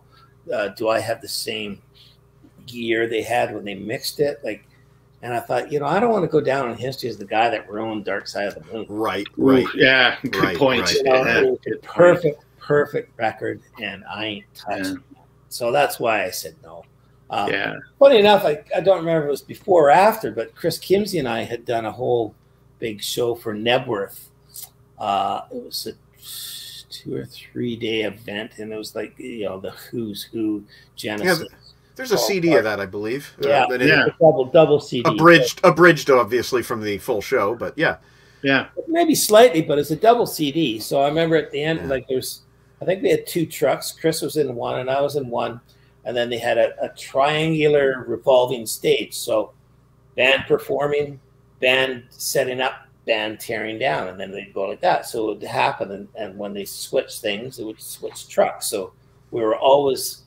It just went like, you know, you didn't have to do the 20 minute, 30, 30 minute switchover. It was like 10 minutes and the next band was going. So when we came to mix it, there was so much stuff to mix. Chris says, "Well, look," he says, "Let's just split it." He says, "I'll go on one studio mix, you go on another studio to mix." So, so one of the songs I got to mix was uh, "Comfortably Numb," right? And it was awesome. Was- they were right at the, uh, at the end of the show, and it started raining. It's night, so the rain with the lasers was amazing, right? Yeah. And I remember this, you know, iconic shot of, of David Gilmour with his guitar playing the solo and that, and the, the rain was dripping off his hands and off the guitar and the lasers, and all. it's great. So I remember mixing away on that, and I just had it cranked. And I usually mix a pretty low volume, but you know, I just had that just pinned. And I'm, like, and I'm vaguely aware of a movement behind me, but you know, whatever. I'm freaking into it. Tapes rewind, and I look back, and there's David standing there going like that. Holy shit! I go like I felt like I'm a that big. Here's one of my giant idols. You, sounds good, mate. Sounds good. Like, Oh, that's awesome. Yeah. that is so awesome. Yeah, yeah. Well, I I uh, have asked all the questions that I. I mean, I could keep going, but you know, I I I realize have, that. I have one story that I want to sort of rewind. I thought we were going to make. Please, yeah, please. Yeah. So it goes back to the cult. Whoa. Okay. We're doing, we're doing Sonic Temple. There it is, right there. Yeah. Uh, you know, we started off, I think it was in LA doing demos. And when Bob and I are like, hey, you know, how do you feel like about doing a cult? Fuck yeah. You know, started off in LA.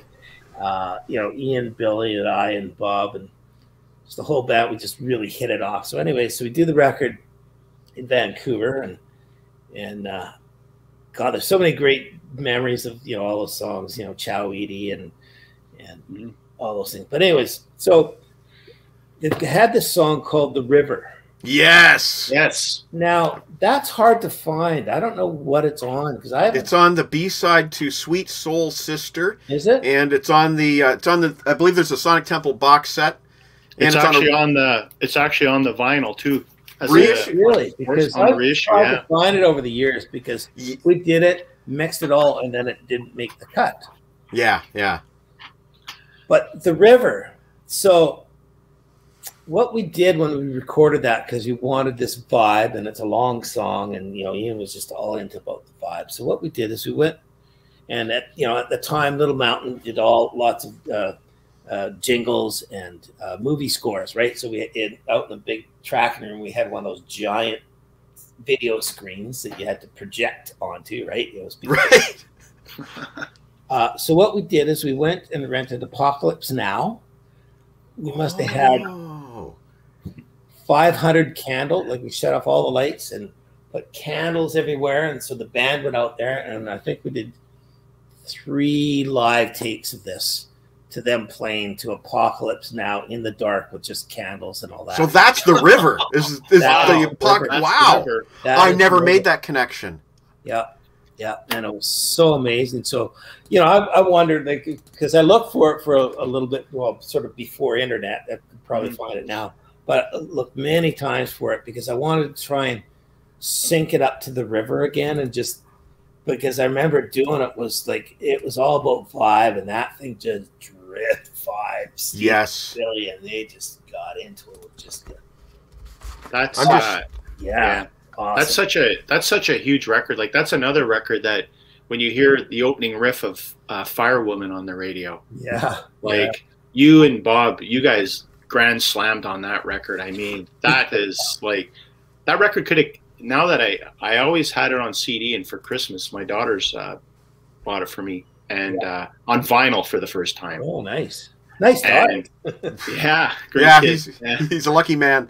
Yeah, they buy me a lot of vinyl. So, but it sounds like like it came out last week, Oh, right on. and that's kudos to you guys, man. Like, thank you for the sonics, the music, everything, man. Like, seriously, Well, I'll say you'll wrap it up. You know, the one thing I've learned through my whole career, like you know, of course, Bruce Fairbairn was all about you know doing this and Yep. but really, what it is is like you- you've got to. We're trying to capture magic, and yeah, you can't you, you can't manufacture magic, and that's where Mm. a lot of things have gone now with with the Pro Tools, and it's so easy to change and manipulate things and make it sound how you, you want it to sound, which is Yeah. great. Mhm. But there's n- there's no exchanging magic for it, Mhm. and magic should happen fast. You can't sit there in a room for 20 hours and expect the magic to happen. So that's what Bruce's thing was. Okay, if it's not here now, okay, go and figure it out at the hotel room and we'll capture the magic later.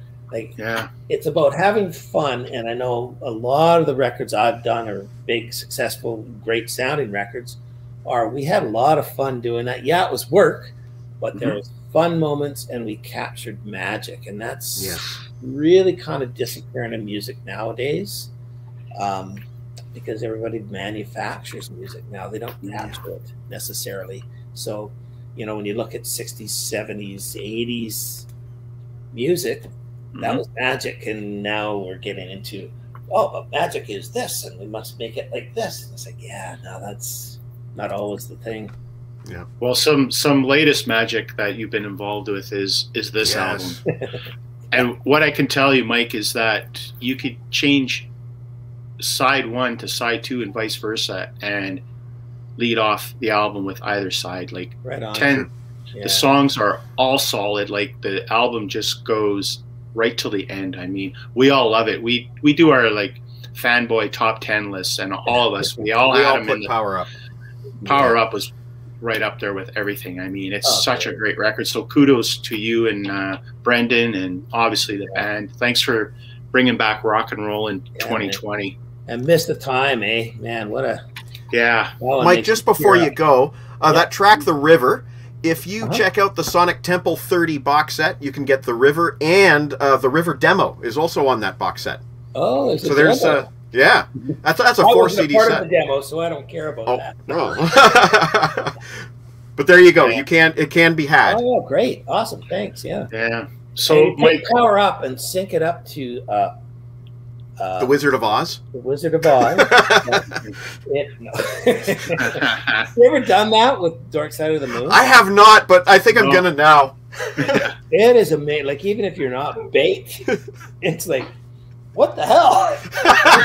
it's amazing. that's Yeah. amazing. So, well, Mike, Guys. we It's been great. you. I gotta go uh, make Yes. dinner now, yeah, absolutely. Thank, you, buddy. so. Thank you so much. Yeah. Please, it's been a please, blast. please come back and uh, talk to us sometime down the road. We'd love to have you back. Oh, that's All right. awesome. Yeah. Take care, Uh, man. T- I stay love safe as well. Yeah, yeah, yeah.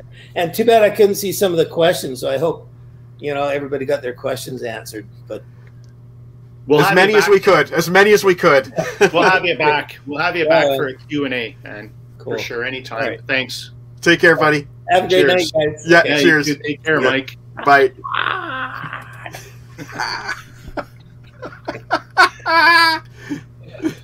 Uh, how do I get out of this thing? Here, um, here, uh, there. I'll just do it the manual. There we go. There we go. Okay, Deke. So a little bit of this we're not worthy stuff. A little bit of this we're not worthy stuff. Yeah. Um, I'm not going to give you a rest. I am not going to give you a second of rest because of what Chris Sarge just said here. Uh, balls of steel. Um, the reason you have that nickname is because you just have balls of steel and you will ask anybody for anything. Uh, Lana said earlier that I don't pay you enough, which is true, but I can pay you in love. I can pay you in love, and so can T Bone pay you in love. Oh Dun shit! dun dun! I would like to introduce to you the brand new single by T Bone Erickson called "Balls of Steel" on the LeBrain. Tr- Alright. Well, his blood runs cold and he doesn't feel many legends told of his balls of steel. you better listen up.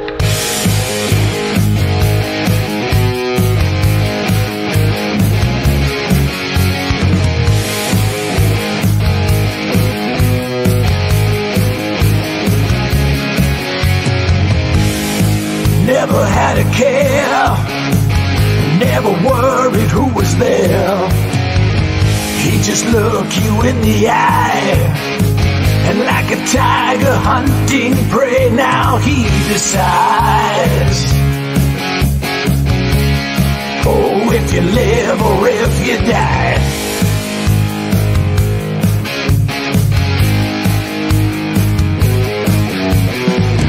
You try to run, but there's no place to hide. Well, his blood runs cold and it doesn't feel many legends told of his balls of steel. Bigger than a freaking Ferris wheel. Now you've been warned, he's got balls of steel.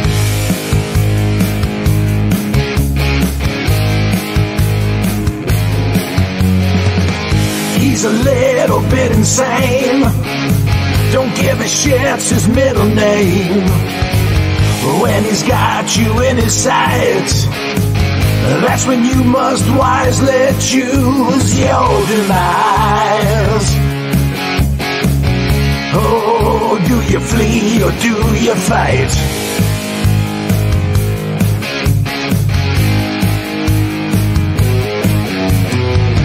But you won't have much time before he strikes.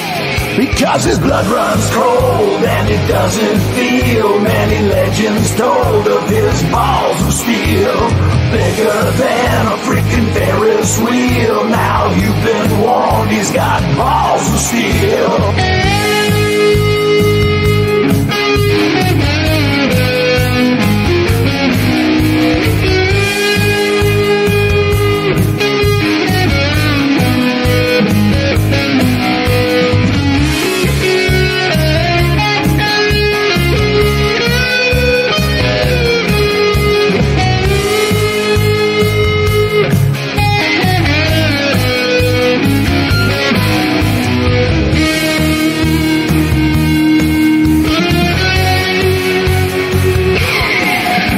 Because his blood runs cold and it doesn't feel many legends told of his balls of steel. Bigger than a freaking Ferris wheel. Now you've been warned, he's got balls of steel. He's coming to collect, so you better kneel. Show your respect for his balls of steel.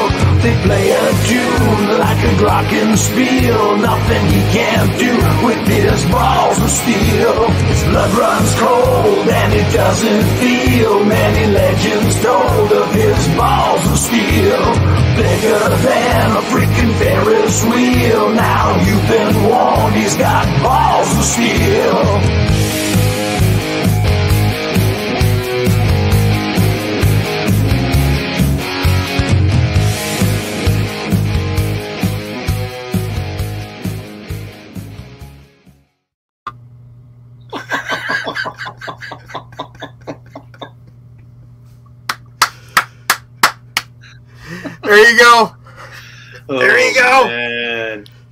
He said man. he sent me that before, just before work this morning.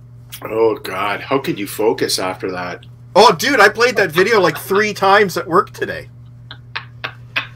Oh man, it kills me. I just I was going, what the hell's wrong with Bruce Willis's face? yeah, I know. It took it took me Oh, a minute. Then I'm like, oh shit, it's Deke. They're all Deke. Uh, I don't even know if I should be putting this comment on the screen. No, get that No, off. no, no! Oh my God! So many, so many great comments. Though we got uh, deep fate, sake, Deke, Deke McLean, uh, fate, face Swallapalooza. Awesome job, T Bone. Yeah. Uh, Lana likes the black and white scenes. We got we had Deke Harris in there. T Bone loves you, man. And well, Eric, uh, I really appreciate this. Best interview on this show ever. Pop off was great, but that segment was perfectly executed by you guys, and Fraser was cool as fuck. Congrats to the three of you. that's uh, you know, like I know we were going, geez, you know, we were gonna get a half hour with Mike, or are we gonna get, you know, but it was awesome. Like he was just full of, you know what, just hearing those stories and, um, you know, it's like the Coverdale Page studio being locked, and y- you know, it doesn't get any better. I mean, that guy is that guy. He's VIP at this Yeah, this LeBrain train, man. Like, yeah, yeah. Um, Oh man, I, I'm still psyched out by that video, man. and there were so, so many great comments. I, again, I couldn't get to all of them, but I tried to tried to, to to give some of these guys at least one question each. But whew, you know, holy that's, that- crap! like that guy is like a ton of rock, man. Like that was just, Yeah. and the fact Yeah. that he just was willing to to chew the fat. The fat. Yeah. Basically, our fanboy questions were all answered about. And he, and he listened. He listened to the uh, the T Bone theme song and liked it. It was in Yeah. his head. Yeah, yeah, like that's Mike Fraser liking T Bone's shit, man. Lana It knew doesn't get any something. better than Lana knew something was fishy when she saw your face on TLR. Yeah, I don't know about this part. Well, that was funny. I, I, when he Oh, sent man. me that this morning, I, I couldn't watch the whole thing before work. I just I got it uploaded onto the site so that I could play it, and then I watched it at work, and I was like, "Holy crap! This is so good. This is so But funny." then, but then you know, it like it really gives me a lot of street cred with that Scarface scene. Yes, You know, you saw that. Yeah, I'll have to re. Oh man, that was what a crazy guy. But that's why he's been my best friend since '75, the same damn year as Kiss Alive. And I cannot wait to talk to him next week on Feb Five. Oh, we're gonna have a blast, man! Especially when we dissect that Done with Mirrors record. I mean, that's why I figured we'd bring uh, Uncle Meat and Kevin just to give you some backup because we might pummel you right, bulldoze you right over. Yeah. So we thought, you know what, we don't want to be unruly guests. Fair enough. I think uh, I think Okay. we're probably going to play Balls of Steel again next week, probably. But well, that is actually, T-Bone has uh, the Current River video too. So right. That was not we'll- the new Current River video No, because no, we, no. we promised we were going to debut a new Current River tonight with T Bone, but we had to bump T Bone. So the Current River tune, I'll give you guys all the title. It's one of the best tunes that I ever wrote, and it's the title is called "Rockin' in a Rubber." Oh yes, the legendary Rockin' in a Rubber. Legendary "Rockin' in a Rubber," and we'll talk about it when he's on next week because he wrote the Yeah. lyrics to it, and it's brilliant. So, uh, you know what? I he was probably up till probably about five in the morning. I bet you doing that damn Super Balls tune. Super balls. Ah, well, that's the thing, though. That's the thing is that uh, he actually got the idea from Chris Sarr. Chris Sarr is to blame. Uh, Chris mentioned this Oh, yeah, in a comment. comment, yeah. Like, what was that? Like Tuesday? So Yeah. between like let's say Tuesday and today, he put together a song with lyrics and a guitar solo and a music video. Well, and plus, and plus, he sent me sent me a, a picture or a, a text the other morning. Uh, I get up at five, five a.m. And he sent me a text at two a.m. and he goes, "Man, I just finished watching that pump, making a pump video. That was only four a.m." He goes, yeah, You know- like, dude, I'm going to work. You were just up two hours ago. Well, I'll probably up, be up till two a.m. tonight just out of sheer sheer adrenaline because that was okay. the most fun chat that we've had on the show in, in a dog's age, and that's Yeah, that nothing was- against anybody else. But uh, oh my god, I I mean, that's, I mean, he shaped our, like I said to him, like you shaped our our sonic musical landscape. I mean, you're on all Right? those records, and it was fun just to pull out those records and show him because you know, like he was like Krokus the Blitz, you know. yeah. So uh, yeah, there's the boss liking T Bone's tunes. Well, you know, like I'd, I'd be growing up hearing these songs on Much Music, and they'd be talking about Little Mountain Studios, and I would imagine it in my head, and imagine Yeah. Bob Rock sitting at a desk or Bruce Fairbairn. Oh, there's Mike. Thank you for joining and listening. Sorry we didn't get around to all the questions. That was a lot of fun. Uh, thanks, man. Well, maybe next time we'll we'll line up the questions for next time. There were so many we could have gone on for seven or eight hours. And for for you people out there, uh, if you want to go check uh, Mike's actual website where he's Right. listed all his bands he's worked with. Like he even said, like he was trying to edit it, and it's like ten pages. Right. You your mind will be blown at who he's worked with. Like we didn't even touch on Poison, Flesh and Blood, and we didn't touch on a bunch of other things. So you know, I'll just uh, I'll easily put have his uh, website in the banner here real quick. Yeah, and uh, you know, So there you go. Check him out at mikefrasermix.com. Yeah, and the best was, you know, and I, you know, you know me, I'm a huge Sykes fan. So just to hear the guy who was actually in house with all that going on, I mean, fanboy appreciation night here. I think I think for me, for me, it's, Sonic Temple. Yeah, Um, yeah. 1989 was a formative year in my rock and roll life. You had so much activity going on at Little, Little Mountain with Pump, Mhm. Doctor Yeah. Feelgood, yeah, and uh, you know the Cult, which w- all three of which were huge that year. Uh, that was a big year for me. I had my first girlfriend, and uh, she was into the same music as me, but she didn't like the Cult. So there's a matter of pride for me on uh, listening to Sonic Temple and hearing songs like "Sweet Soul Sister," which is a massive tune. And, and you know reading the credits and here's here's a guy named Mike Fraser and yeah. you don't necessarily know what an engineer is at that age, and you, No. you don't necessarily know who Mike Fraser is at that age. But then you see his name again when you buy the Blue Murder album. You Yeah. see his name again when you buy the Coverdale Page album, and it becomes cemented in your head. But when you said on Saturday, when you said, "Oh, I got Mike Fraser for next week," I'm like, instantly, instantly, like my brain's just like the discography's going da-da-da-da-da-da-da-da-da in my head, right? Yeah, yeah, yeah. And I mean, we didn't even touch on his his fantastic work with Satriani, No. Chickenfoot. Like No, we could easily have him back for another 90 minutes. So I'll hit him up. We'll hit, or I shouldn't say I will now hit him up down Well, the road for sure. You Yeah. you, uh, Yeah. you have the it's your responsibility because you have the theme song now. You know that's that's yeah, your that's your payment. yeah, I guess so. Yeah, Jon Snow was Oh, watching. man. Thanks for watching, Johnny. yeah. And, that uh, was a that was a great night, Mike. Thanks for like I said, I told you this before. Thanks for having this forum where we can do this kind of thing. And Ah, this, this kind of night, this kind of night is what makes it worthwhile.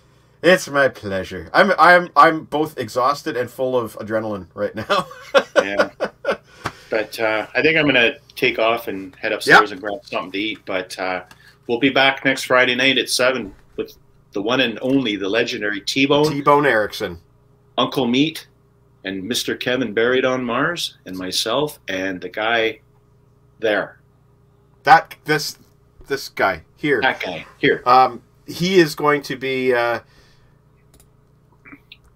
uh, I just uh, I'm exhausted and yet uh, and yet not. Um, I guess what I was going to say is I'm really looking forward to next week and hanging out with my buddies and we'll be talking in depth about Yeah. Aerosmith's "Done with Mirrors" album, Track by track, baby. track by track. I swear to God, I will do this, even though I don't like the album all that much.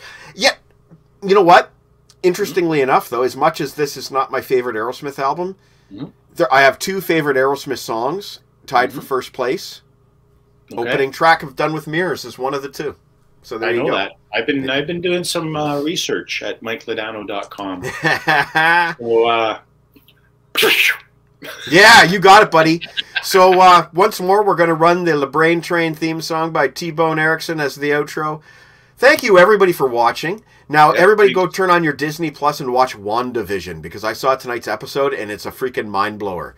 Without and spoilers, then after and then after that, pull out any Mike Fraser yeah, engineered or produced record and crank it tonight. yeah. Actually, order this one from wherever you can get it. It wasn't released in North America. The Stone Gods. Order this one. It is freaking great. It's the guys from the Darkness. Check out the earlier part. Ordered Sonic Temple. Get that one. check them out. All right, Deke. Well, I guess we'll see you next week. We will see And you next um, week. I'll uh, I'll send you the link for that YouTube video so you can watch it whenever you like.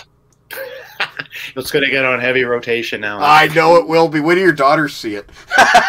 they probably already have. All right, All right, Deke. bro. Take care, bud. Thank you, and thanks everybody for watching. Here is the LeBrain Train theme song by T-Bone Erickson, who you will meet again next week. Rock and roll. folks. Have a safe weekend.